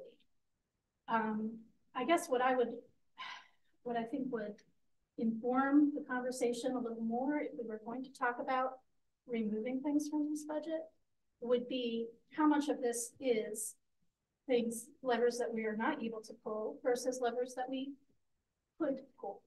Um, and I think your slide deck actually talked to that, Josh, um, with, you know, some recommendations for levers we could pull. And one of them that jumped out to me that was pretty large was that large, but not 4.8 million large, was the, the 200,000, you know, additional capital expenditure. And, you know, I, I think about this and all of the emails we've received over the last year, two years, three years, of all of the things that have, you know, broken in this district. And things are going to break every year. You know, that's that's the nature of the beast. But I do think, you know, we have done over time not a great job of keeping up with our facilities. And, you know, those things are coming around. Um, and, and it feels like they're coming around, like, it feels like they're kind of piling on now. But I think that's the result of, you know, not having consistently maintained those investments over time. So, um, you know, I, when I look at the levers that we have available to pull, I don't really want to pull that lever. I don't think that that's going to be in the best interest of the district. Um, I feel for anybody who, um, is looking at their tax bill and is not able to, to meet that obligation. What I don't know is if we cut or remove a two hundred thousand dollar capital investment plus the pension contribution plus two or three teachers or whatever it is, is whether that, um, to Heather's point earlier, whether that potential decrease to a mill rate is going to materially impact somebody's taxes, tax burden. Um, and so I'm left with, the only question that I can really ask myself is what would make me a good steward of this school district? Um, I I don't see um, any part of this budget that I'm eager to remove um, at this time. I am, I am not, um, I'm not moved to make a kind of substantial cut or substantial removal that would, you know, result in a, in a, in a substantial impact on everybody's million. Um, so that's where I am. I, uh, I also, I wanted to push back on one more thing, which was, you know, a spreadsheet with numbers comparing us to, to other districts. And I, I think I might have had something to do with that spreadsheet. Uh, I, it, that spreadsheet was looking at um, budget proposals over the last five years and comparing growth over five years between us and other districts that are neighbors and DERs of ours. And really what I use that for is, um, you know, as we are going through our budgets each season is, you know, just to see where we are to our peers and, and, and what they're talking about. And I will say, you know, yes, this budget is is high, but it's it's it's on the, the, the higher side of average. But it is not like twice as much as the median. It is not even 50% more than the median. It's it's a few percentage. It's a, you know, um, you know, ours is a 583. The median for the DRG for proposals in 24 or 25 is 5.46. Um, that may come down, you know, um, and I think it's fair to ask questions about taking, you know, about what could possibly be removed from this budget, but I, I just want to push back on. I don't think we're like running away from the DRG. I do not think we, we're in the ballpark. Um, and, and I do think, obviously I've kept this data for five years now. I think it's worth looking at and keeping and analyzing. Um, but it, I'm not convinced that it's showing me that we're, we're running away with it quite yet. So I guess what I'm saying in a very long roundabout way is that I'm supportive of the budget. I'm happy to hear discussion. I'm happy to hear people's ideas um, about what could be um, changed or removed or shifted possibly to a later year. Um, but as a good steward, I, I really uh, the levers that have been presented to us are not ones that I'm ready for right now. Tom, do you want to go now since that's your spot, or do you want to? I'll let me wait, I'll wait. Right, go ahead. Oh, wait, I'll wait. I'll Oh, you want to have the last word, huh? If you're giving it to me, I'll take it. I'm not giving it to you I'm because not I get the last word. Nice try. Nice try. Go ahead, Heather. I am happy that Heather said so much because a lot of what you said, I agree with. Um, I really do appreciate the work that went into the presentation of the budget. And I too don't see any lever levers that I'm at this moment comfortable with pulling. Um, I think the only way we know what the citizens are comfortable with is if we hear from them. Um, I've only heard from a few people So I would like to see where I'm at after Wednesday, um, but right now I'm fairly comfortable with where we're at. I know it's high. I do really feel bad, um, for people that are worried about their finances as well. Um, but right now I'm kind of at that, at that point, you know, to just wait. see how it. It made perfect sense. I got it. Yeah, that's okay. It's ten o'clock. Thanks, Jen. Yes.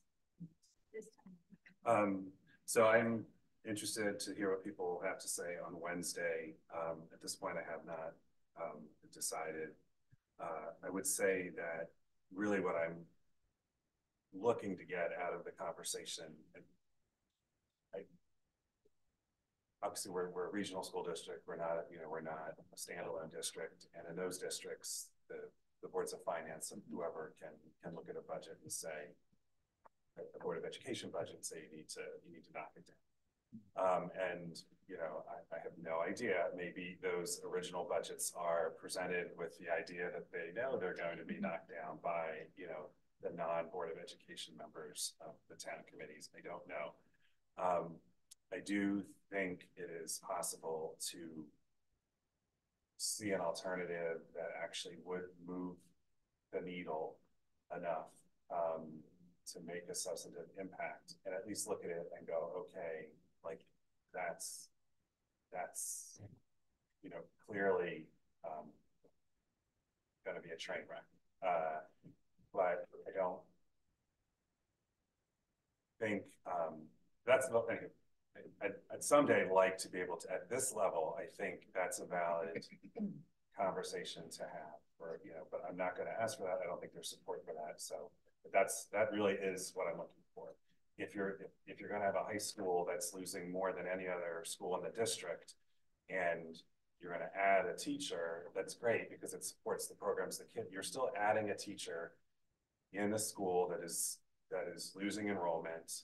And I get that they may be coming from, from study hall, and as a comprehensive high school, we should be, you know, providing all these opportunities, but again, at, at the, the end of the day, like, where do, where do we, where do we draw that line?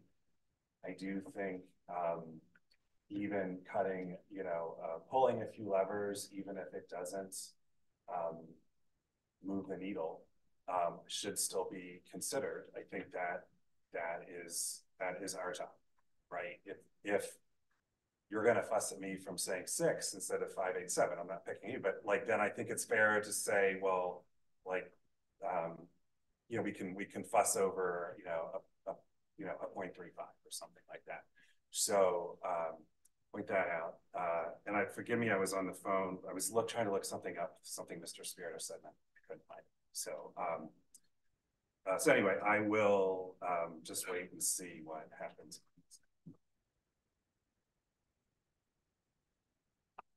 So. Right, so I do feel right, and, and thank you, right, both of you guys, this is a very fair budget in the facts where I think that you guys realize this number, and I don't like saying high, but this number was, right, more than our district has seen, maybe not last year, but in previous years, you were very cognizant of that fact, where I do feel like, right, you could have thrown other things in there. Are there other things that we need in this district, right, that we kind of have on this path forward? Um, but you guys were responsible and respectful of the community. So that I appreciate, right? I'm in full support of five point eight three.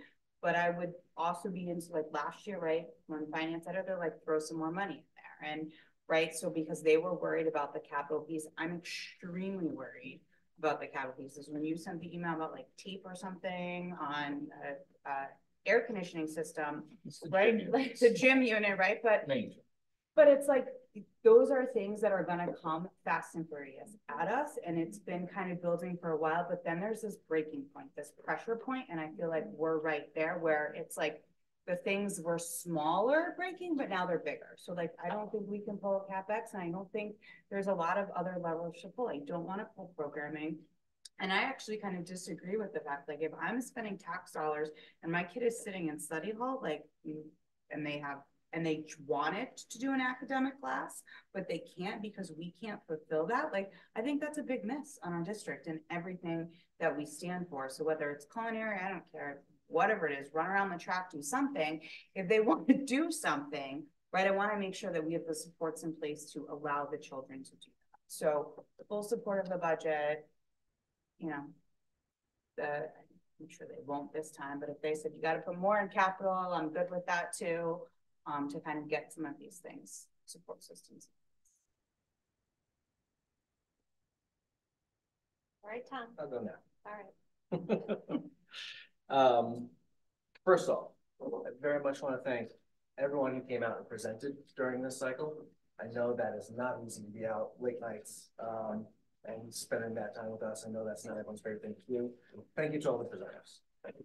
Thank you so much to all the administrators and all the staff members who had a hand in putting this budget together. Um, as usual, I think this has been a very thoughtful process. I think this has been a very thorough process. Um, I very much appreciate your willingness to at least try to answer our questions if we let you get through them. Um, we, we did, we asked you some tough ones. Um, and on that note, I also very much appreciate the passion in this room. Um, you can see that passion come out in some of the reactions.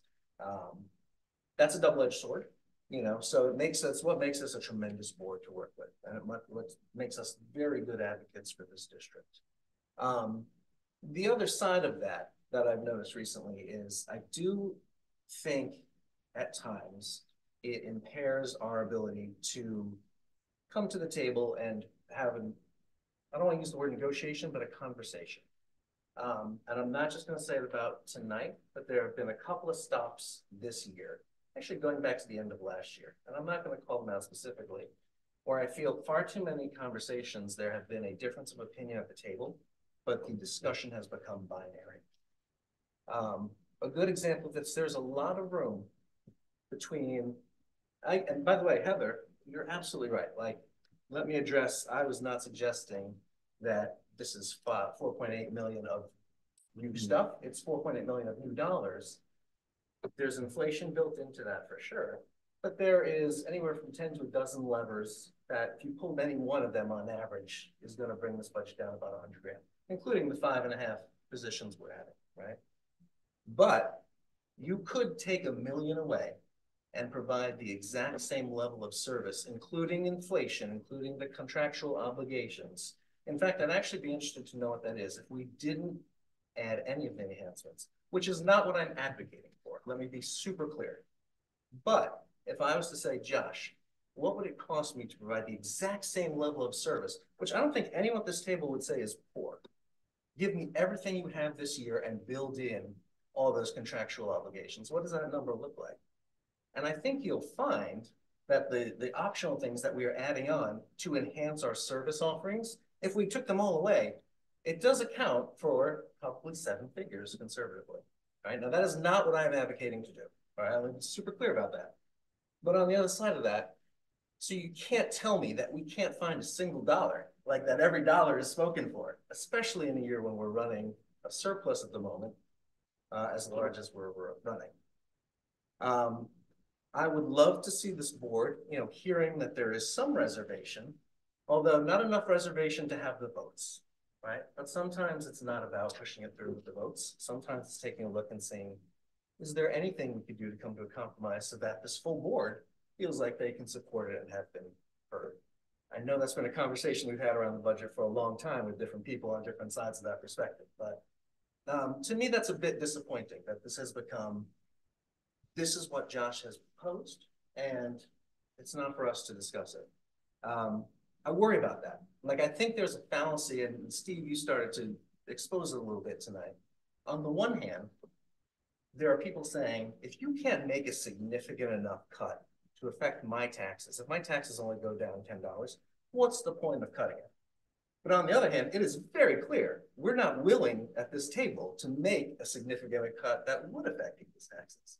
We're not making a seven figure cut. Like, that's never making it through this board, nor should it, in my opinion right? But you're telling me I can't make the big cut that'll affect people, but if I can't do it, why is it worth making a small cut? There's a lot of room in between there, but you've put me between a rock and a hard place where I can't even have the discussion of, you're telling me I can't find two hundred grand? And then add on top of that, you know, I've heard people say, well, this is what Josh is telling us he needs. I understand that, but if, if that's the standard, spare me the twenty-five hours of meetings we've been through. Because I'll know what the number is. We, this board in my four years, um, has not significantly pushed back on the proposed budget. Uh, except for the time we added to it in my first year. Um, I pushed back on the notion, I hope you don't feel beat up. We asked some tough questions, but when we talk about people who like to trade places this time of year, I hope you feel like one of them that's happy where they are. Because I think if you took a look around at other districts, what we've done here is very unique. Budgets, Heather, you referenced it. It's one thing to look at the medium of proposed budgets. It's another to see where they ended up once they were cut. Our nearest neighbor, Newtown, cut a million out of the proposed budget. So if it's in your sheet at five point five, knock it down to four point something. Now, some of that is playing games because they have a town that takes care of their capital expenses. So half of that liability was put on the town. But still, the proposed budget lost half a million dollars. That's just next door, all right? I'm sure we could all spot check and find different districts, but it's very rare to find a district that for four straight years didn't cut a single dollar, not one penny from what was proposed. So I want to be very clear. Um, I'm very much in support of this district. I, I worry about being painted as a bit of a villain here for asking these questions. Um, because I, I don't think they're unreasonable asks. Um, I would jump right away to capital. Heather, you brought that up, and you're right. We do have an outsized need for capital. Uh, and $200 won't get us there. But we kind of double and triple dip on that line when we say, well, we're going to fund the debt service 100 grand. And that's coming right back, you know, into capital projects if we don't spend it in other areas, right? Uh, we have uh, 200 or so falling off the bond next year. Where's that 200 grand go? You know, that's probably also going to be used if it's available at the end of the year towards capital projects as well.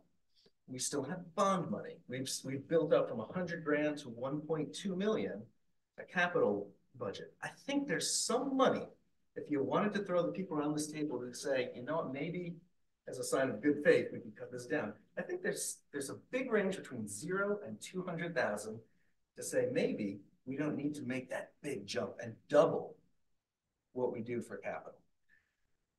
Um, a couple of other things. I want to make sure I hit them all.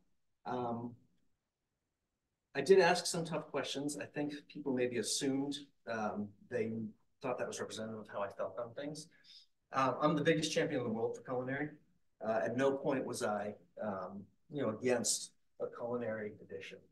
Um, my concern the other night was that I did feel that it came out of the blue at the budget presentation. I had not, we had talked about these projects for 15 months and I had never heard that. I feel the same way about the 200 grand. You know, we've talked about how are we going to pay for all this stuff. I've heard we have the bond. I've heard we have the debt service, which is falling off. We've talked about openly, like we are going to have to get on a more regular cycle of bonding. But at no point before the budget was presented did I hear, oh, and we're probably going to have to double capital improvements. Now, I'm not saying I disagree with the strategy, but to me, my gut reaction when I was unprepared for it is, does it have to be that much so soon? I hear a lot about the um, being shortchanged from Hartford and people kind of looking at that and saying, well, if it wasn't for that, we can't change that, right? We got we got dealt a bum hand by Hartford. I think we would all agree. But you got to play the cards you dealt. And when revenue goes down like that, the answer isn't let's buy more stuff. We have to adjust. This is the second year in a row where we have a budget approaching six. Um, Josh, you said last time, like, I don't see us at any point getting back to the days of two or 3%. What that tells me then is we have to maybe change our approach and not be as aggressive with some of these additions until we get out of this inflationary environment. Because I'm telling you now, I don't think we can continue it year after year, 6%, 6%, 6% ish. Sorry, 5.8, 5.9, 5.7. I don't think that's a sustainable path for our taxpayers. Um, some of this, what I'm saying now, is not even necessarily about this year, but I'm hoping factors into next year. Like, I think there's a bit more resistance, whether or not we pass the proposal or not, there's a bit more resistance around this table than we've had in years past. Um, you know, take that for what it will, but I think at some point, we're gonna get to a, a level where it's hard to tolerate over year. Um, I do worry about fatigue. We had a high budget last year. We have a high budget this year. We had a bond, we asked the community for a bond last year. We're probably asking them for another big bond in a year or two, and that's, that's last in line. How far can we push our taxpayers before they say enough is enough? I don't want it to be on that last stop, not even knowing where, where the budget is, right? So I think if there's a possibility to show some good faith, we should take advantage of that. Uh, I'll, I'll finish here by saying the need is always gonna outpace our ability to spend and to fund. We are always going to have more needs than we do dollars to pay for them. That's our job, is to figure out where is that tolerance to pay. Um, I think we're being a bit too aggressive this year.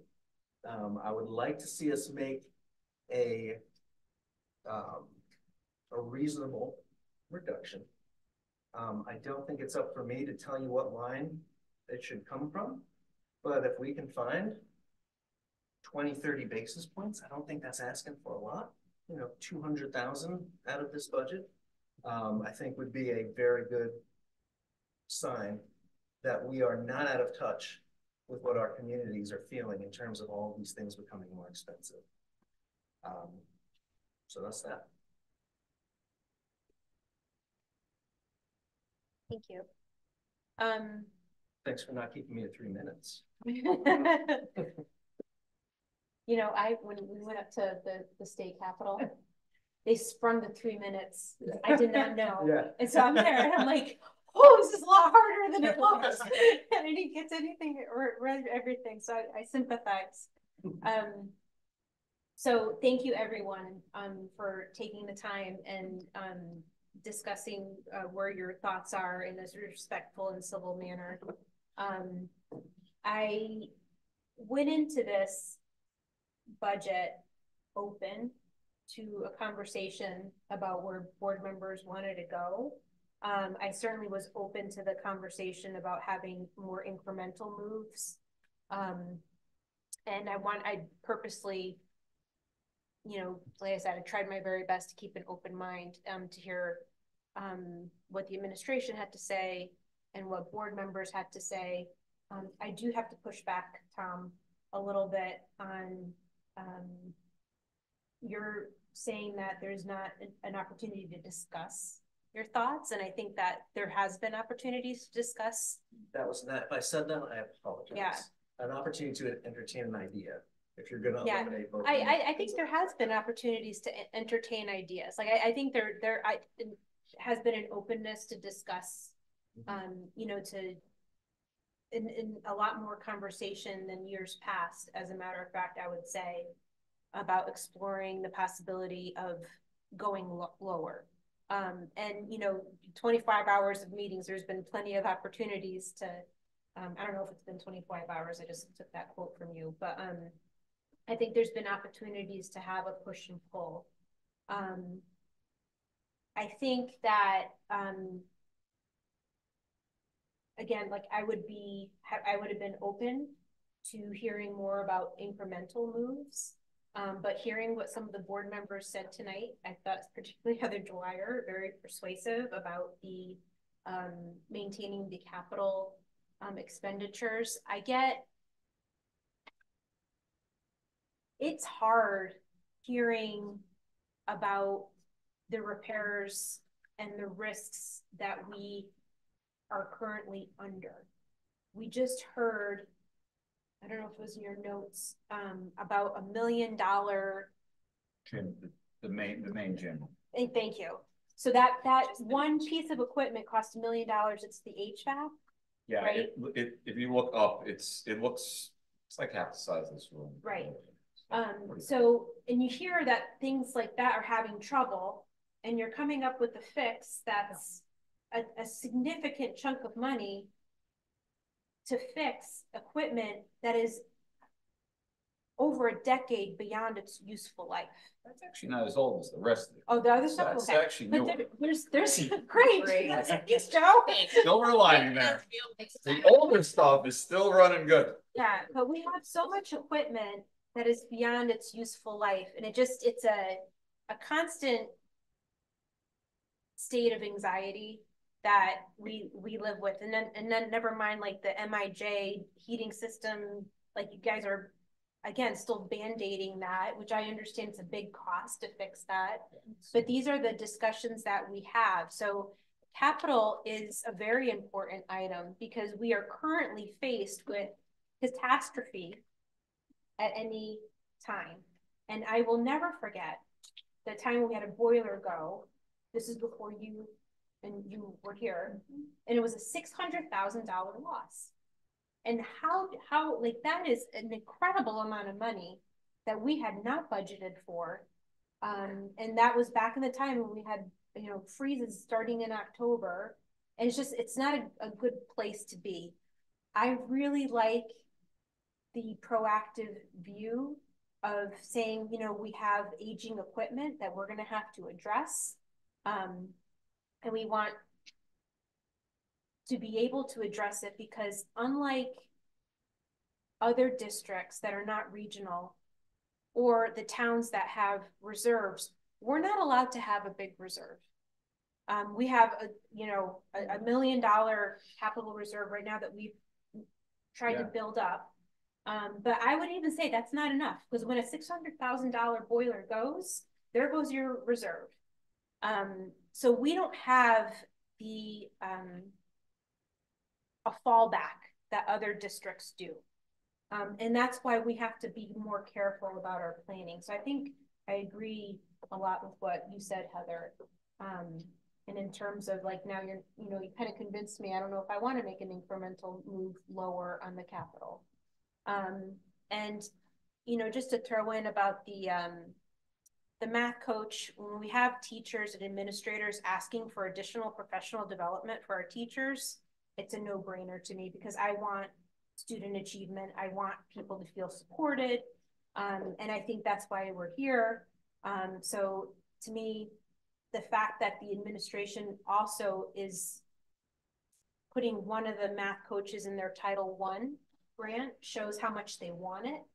Um, and again, I want to give the teachers and the administrators what they're asking for in that extra professional development for teachers, because I do believe that that is going to um, enhance our education. And as far as the culinary, um, you know, doing the upgrade, I knew it was going to bring in some more students to already, you know, the most demanded class um, in our high school.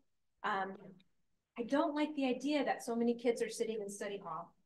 Um, and I know that that sometimes because they don't want to do like some of these other more esoteric, like my daughter's never going to do woodworking if it's available, you know, but she'll always do culinary.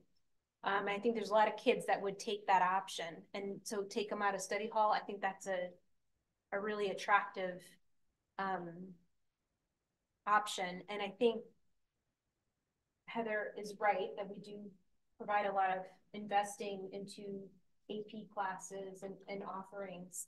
And I do think that the culinary not only offers a life skill, um, but also offers soft skills in terms of like how they're collaborating with each other. And, you know, maybe someone who doesn't shine academically can really shine in, in, um, in a culinary environment and doing projects with other groups. So I, I am in favor of that as well. Um, so, you know, I am also interested to hear, you know, from the public. I think Heather's spot on about that. We've had a couple people speak. Um, I've also heard um, not a lot of complaints about the budget. Um, even on, you know, it's just, I haven't heard much. Like I've heard, I've seen it times when people are really complaining a lot, and this is not one of those times. So I do put weight in what I'm hearing out in the community. Um, and again, it's not over. We still have a couple more meetings. Um, there's a public hearing coming up on Wednesday, another opportunity for public comment at our next meeting whenever we vote on the budget. So, and you can always email. Um, and definitely up for hearing about that, but that's where I am. Um, right now, so I guess where I am is that I'm in support. Um. Of the budget. So what I'm hearing is that we don't need necessarily any additional. Um, information from you, Mr. Smith, or, or Mr. Martino, that we have enough within So what. I what asked to see, what is the number to provide the exact level of services we have this year? So I think that we're trying to answer questions as much as possible. I think when you get into like flat funding a budget, um, there's discussion and, and conversations that, that, um, the board will need to, to make there. I don't want to usurp that. Um, like we present a budget, the budget is, is for you to discuss and for you to decide. This year, again, we started with that four point seven, and then the, the question from Hartford is, we did take that and we absorbed that, so that, that now sets our budget going forward with a lower expectation from Hartford. So that is a six hundred thousand dollar hole that we are absorbing in this increase that we didn't know about when this year's budget was built. We were promised six hundred thousand dollars more. Um, the, the correction though is a, is a one-time correct. We're gonna absorb it this year. We have no choice. And we, we could roll the dice and hope that Hartford fixes it for next year. So this is the, the, the most conservative view of that. I, I, I would not put my faith in, in a biennial. But so, so the level fund, the budget assumes a six hundred thousand dollar cut right off the top. Because that's revenue that we wouldn't have next year. Um, the, like, I guess we work for you. This is a budget that we propose. If you want us to make, it, it, it- I made a recommendation or I built you a slide of whatever that was, four hundred thousand, four twenty-five, I don't remember what was in there, four fifty. Um, that would move some numbers. Um, if you want us to propose a, I don't know, whatever that number is, how would you get to two million, four million? The challenge with that is we are gonna talk about services because the level fund a budget, you know, I guess you build in whatever, we could build in some things, we could build in some scenarios, but those scenarios could have impacts that then um, like some people would say like, well, how much if we cut sports? Well, now you got people that it, it starts to get emotional in the community. So if we're gonna do that, I would like some direction from the entire board to say, build us a couple of scenarios, double that, triple that, whatever. Again, at some level, I care very much about this place, but at the end of the day, I work for the board and the community. And if you, and, and so like, there's, there's math involved, right? I can do it clinically and say, here's how we get to, I've, I've been in places where the budget failed and you have to make cuts. Um, like we can come up with those proposals, but I, I want some direction. So I'm not doing it without some where you want us to look or go. You know, I mean, you have the numbers for all of the, the pieces. You can, you can build some scenarios. You have the whole book. What do you slot in when you add an FTE for salary? and 65,000. Sixty-five salary and benefits? So the benefits are a little different because we're self-insured and there's like, I mean, we, you could, you could budget officially, um, like twenty-eight thousand for a family plan. But is that gonna be a single person, a family person? Does someone get married that's here or have a child or get divorced? So we tend, we tend to, um, look at that like a, a twenty thousand dollar, uh, but we So have. eighty-five an FTE for Yeah, salary. and then so You're like an ML teacher, I'd probably put a little more in there because you're probably not gonna get a first year ML teacher. Uh, like our coaches, I'd budget a little higher for that, so I might, might budget like a hundred for each of those, seventy-five somewhere, you know, um, for the base salary. And then again, benefits have a lot of sliders to them, so, um, we tend to budget that more like holistically. Where we take the overall budget amount and we, um, add the multiplier of, from the, um, financial planner and Joe Spurgeon, or whatever his title is. Um, you know, and so like that's kind of the, um, the insurance or the benefits are slightly different. Um, but then like, what do you want us to do for estimates on fuel, estimates on electricity, you know, like, Yeah. so. I mean, Yeah, I don't think When you say I'm like. not asking for those things. No, but like, so when you say like, how much does it cost to run school this year? Well, yeah, I mean, you have slides, I guess, with kind of the new stuff. Um, and if you We don't have to have this conversation, I can, tell- I don't wanna waste anyone's time. Yeah. It's You're a not- curiosity. you're No, Tom, You're not wasting anyone's time. I time. appreciate that. But I think, I think what Josh is saying, like, if you look on page of twenty-one of his slideshow from his budget presentation, there's that risk tolerance. Yeah. And that, that gets you like, Yes. that was a four hundred and fifty thousand dollar, like, you know, the debt service, Mhm. the pension, the capital repair, like those kind of Yeah. things. It's a, at that point, it's a very simple answer. I'll take eighty-five times it by five point five. And then, you know, add it to whatever's on that tolerance page and come with a number. My, my only cost will be the ML teacher and the special ed teacher. Um, our, our ability to deliver services, um, that are mandated by state and federal law, so like. I, I, I don't, I understand what you're saying, but Yeah. there's like, there's discretionary needs. Um, what things like culinary, again, and it wasn't a surprise, like, so there is, when we build this, there's fifty other things that could have made it into a budget. You know, that we have conversations with administrators. Is this the time? What do we get? What's that cost benefit? What's the tolerance? You know, and, and in the end, like that culinary teacher was between a five, seven and a five, eight, you know, um, and so do, and probably a little less than that, but, um, do I make that decision or do I say that the No. culinary room's been important for the board? I'm gonna put it out there and you guys decide. I'd actually like to know what is, what was cut. Because that speaks to what we left off of the Well, I mean, budget. the short answer is we could have dodged the loophole of what we put into. to No, no, but like seriously, when you're having those conversations, I'd like to understand what was on, what was left off because the timing isn't right. Is that gonna help us prepare for future budgets when the timing is right? And what type of shift in education would those things potentially add? Or was it like, oh, we're kind of teetering, you don't want a six, so we're gonna leave that, and maybe it's just a numbers game. But to me, that's important to understand, what are we leaving behind when we're having conversations about what we need today?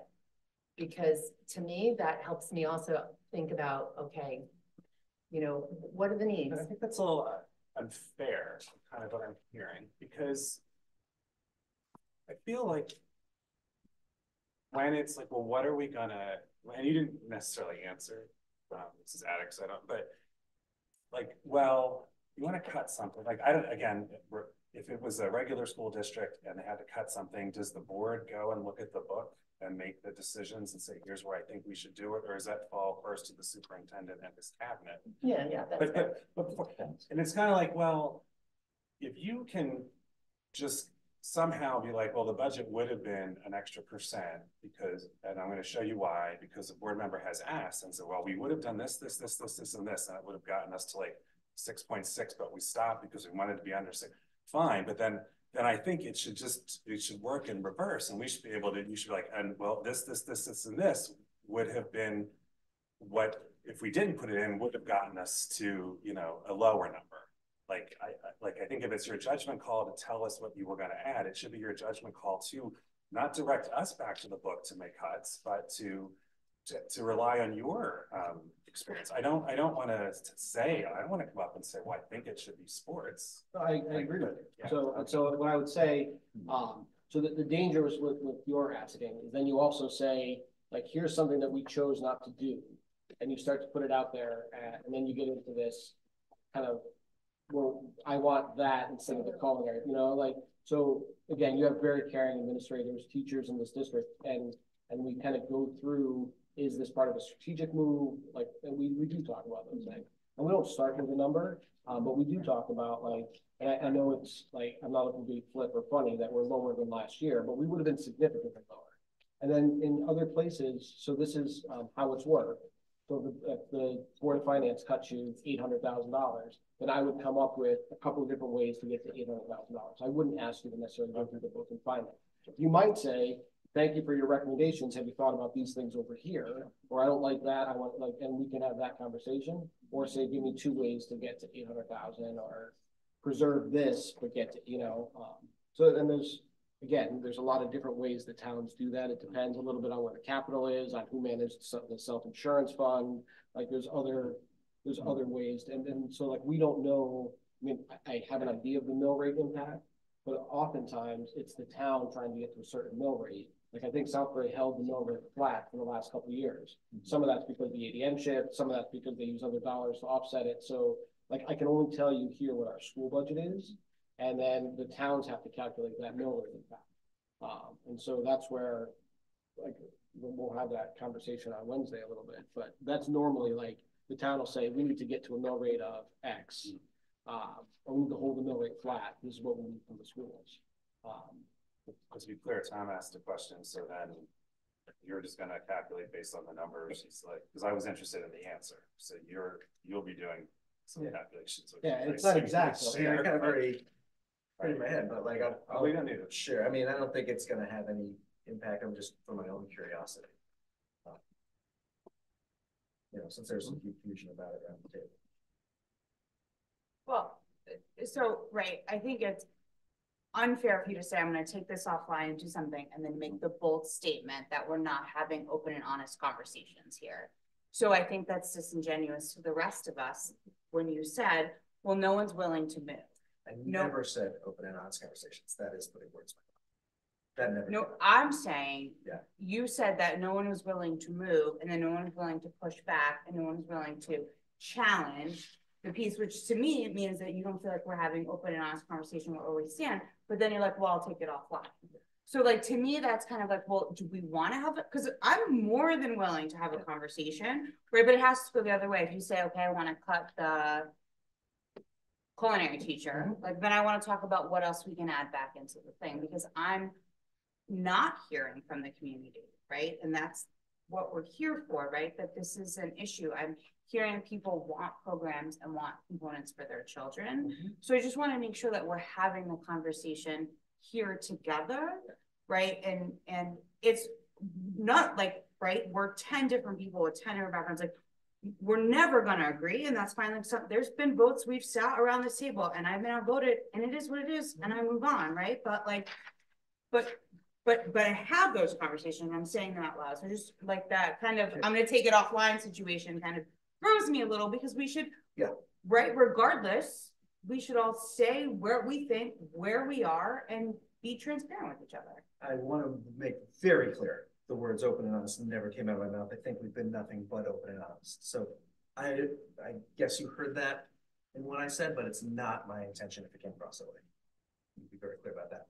Um, I'm trying to spare everyone from sitting around here five minutes, but if you want to pull up a spreadsheet and I can do the tabulation I was going to do home on my own, I don't think it's going to be to anyone's benefit. I'm not suggesting, when I say take it, like, I have a lot of notes in my notebook. Like, I take a lot, I do a lot of homework. I'll do my own homework and let you all leave five minutes earlier, unless you really want to pull up a spreadsheet and we can do that computation, but it's not something I'm pushing. Well, I just wanna know where you're going with it, right? So if you're saying like, I wanna cut eighty-five thousand dollars and it needs to be whatever this ML teacher, what, which it can't be, the culinary Yeah. teacher, right? Like, before we go, like, I don't wanna say like, Josh, go do that, when it's like, when you're outvoted eight to ten, right, eight to two, so then it's like, well, then, like, are we having this conversation, okay, we know, like. I feel like Josh sufficient, sufficiently answered my question. Okay.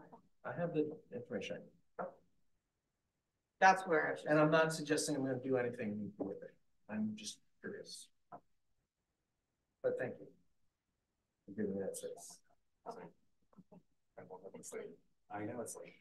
Um, so I'd be the first one to say that having those zeros way back when, certainly had we gone and maybe put some of that into capital or pension that, you know, I mean, you know, a, a, a extra ten years ago with the stock market, you know, maybe we wouldn't have to fund pension as much as we had to, and obviously the capital argument, you know, you know, you all can follow.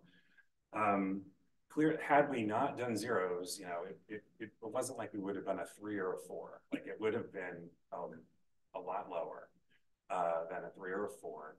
And again, please keep in mind, um, that in a way it was the, a, a community, to people, the, you know, the no's still had hundreds and hundreds and hundreds of votes, two years in a row for a zero.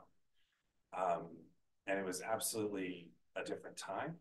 But I think there have been a lot of decisions uh, since then that boards for the past have ten years have collectively, you know, what we have here is a collection of all of our decisions, good and bad. The reason that we have to maintain the salary line item is because we as a board voted for all those salaries, right? so it's, it's, there's, and, and so there's, there's a lot going on. So I just really, um, at the time, was absolutely a different environment. Um, and to your point, had we actually wanted to raise the, raise it zero, again, it was this binary option. And, and truly, what I am looking for really is I, I just, I, I would love, and you know, again, excellent comments. I, I, I would just love to be able to not have the binary, um, the binary discussion. But I did take um, a little offense at earlier remarks that said um, people that were here at the time made the zeros and therefore, you know, bear some responsibility. And it's true, um, do bear some responsibility for where we are now. Um, but I would challenge uh, anyone else at this table to have done a better job at that time because there were people that would have dragged it below zero if it was illegal. So, Or walked out. Yeah, and, and Steve, I, I. yeah, I, no, no, please, I just, I Yeah. needed to, Yeah, that, but- that's, yeah. just say that. Um, right.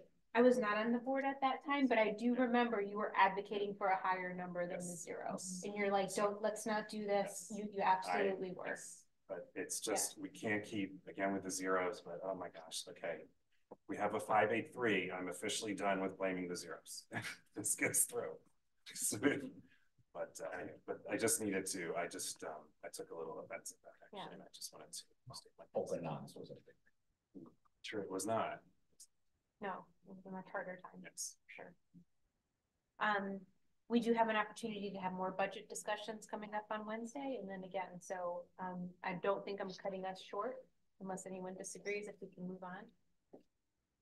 Okay, um, cause we have other vote, important. the vote is still gonna be the eighth. Oh, yeah. Well, hold, I'm gonna get to that when we do the announcement. Okay, sorry. Well, because it was like budget discussion, budget vote, and then Yeah. it was like. okay, We're gonna get, we're gonna get going to setting the budget vote date. I just was gonna do that during announcements. Okay, um, so regular business requiring board action, may I have a motion to establish the Pomperaug High School graduation date? Absolutely. Move that the Board of Education set Pomperaug High School's graduation date for June fifteenth, twenty twenty-four, per state statute 10-161. Establishment of graduation date that provides hundred and eighty days of school. Do I have a second? Okay. Second by Shandes Cavallo. I know that was painful for you, Rogers, to do that. I was living in denial. I know. That's what- that's It's gonna happen.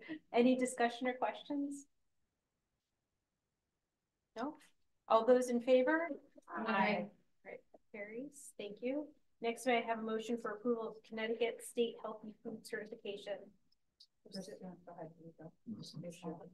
Pursuant to CGS section ten two fifteen F, the Regional School District fifteen Board of Education certifies that all food items offered for sale to students in the school under, in the schools under its jurisdiction and not exempted from the Connecticut nutritional standards published by the Connecticut State Department of Education will comply with the Connecticut nutrition standards during the period of July first, twenty twenty-four through June thirtieth, twenty twenty-five. This certification shall include all food offered for sale to students separately from reimbursable meals at all times and from all sources, including but not limited to school stores, vending machines, school cafeterias, culinary programs, and any fundraising activities on school premises sponsored by the school or non-school organizations and groups. Thank you. Do I have a second? Second. Thank you, Steve. Any questions? I wish we could let them have a cupcake every once in a while, but whatever. Really like a of, Yeah. Sorry. Any other comments, other than Heather not trying to follow the law? Yeah, that's it. All right, all those in favor? Aye. Thank you, it carries. Next, may I have a motion for approval of Connecticut Health, State Healthy Food Certification? Uh, move that the Regional School District fifteen Board of Education will allow the sale to students of food items that do not meet the Connecticut nutrition standards and beverages not listed in section 10-221Q of the Connecticut General Statutes. Provided that the following conditions are met, one, the sales in connection with an event occurring after the end of the regular school day or on the weekend, two, the sales at the location of the event, and three, the food and beverage items are not sold from a vending machine or school store. An event is an occurrence that involves more than just a regularly scheduled practice meeting or extracurricular activity. For example, soccer games, school plays, and interscholastic debates are events. With soccer practices, play rehearsals, and debate team meetings are not. Regular school day is period from midnight before to thirty minutes after the end of the official school day. Location means where the event is being held, it must be the same place as the food and beverage. Second. Thank you, Shannon. Steve, you sound like the guy at the end of Price is Right. Yeah, he was like, I'm gonna read Good this, job, you Steve. two are slow, we're like, make sure to read every word, cause you have to do it again, Steve's like, "No, I'm done. All right, any questions or comments? Right, all those in favor? Aye. All right, next we have announcement of future meetings. So on Wednesday, March twenty-seventh, we have another budget workshop. Um, we're starting with the boards of finance from both Middlebury and Southbury here at the High School Media Center at six thirty. And there will be a public hearing following that at seven thirty. Um,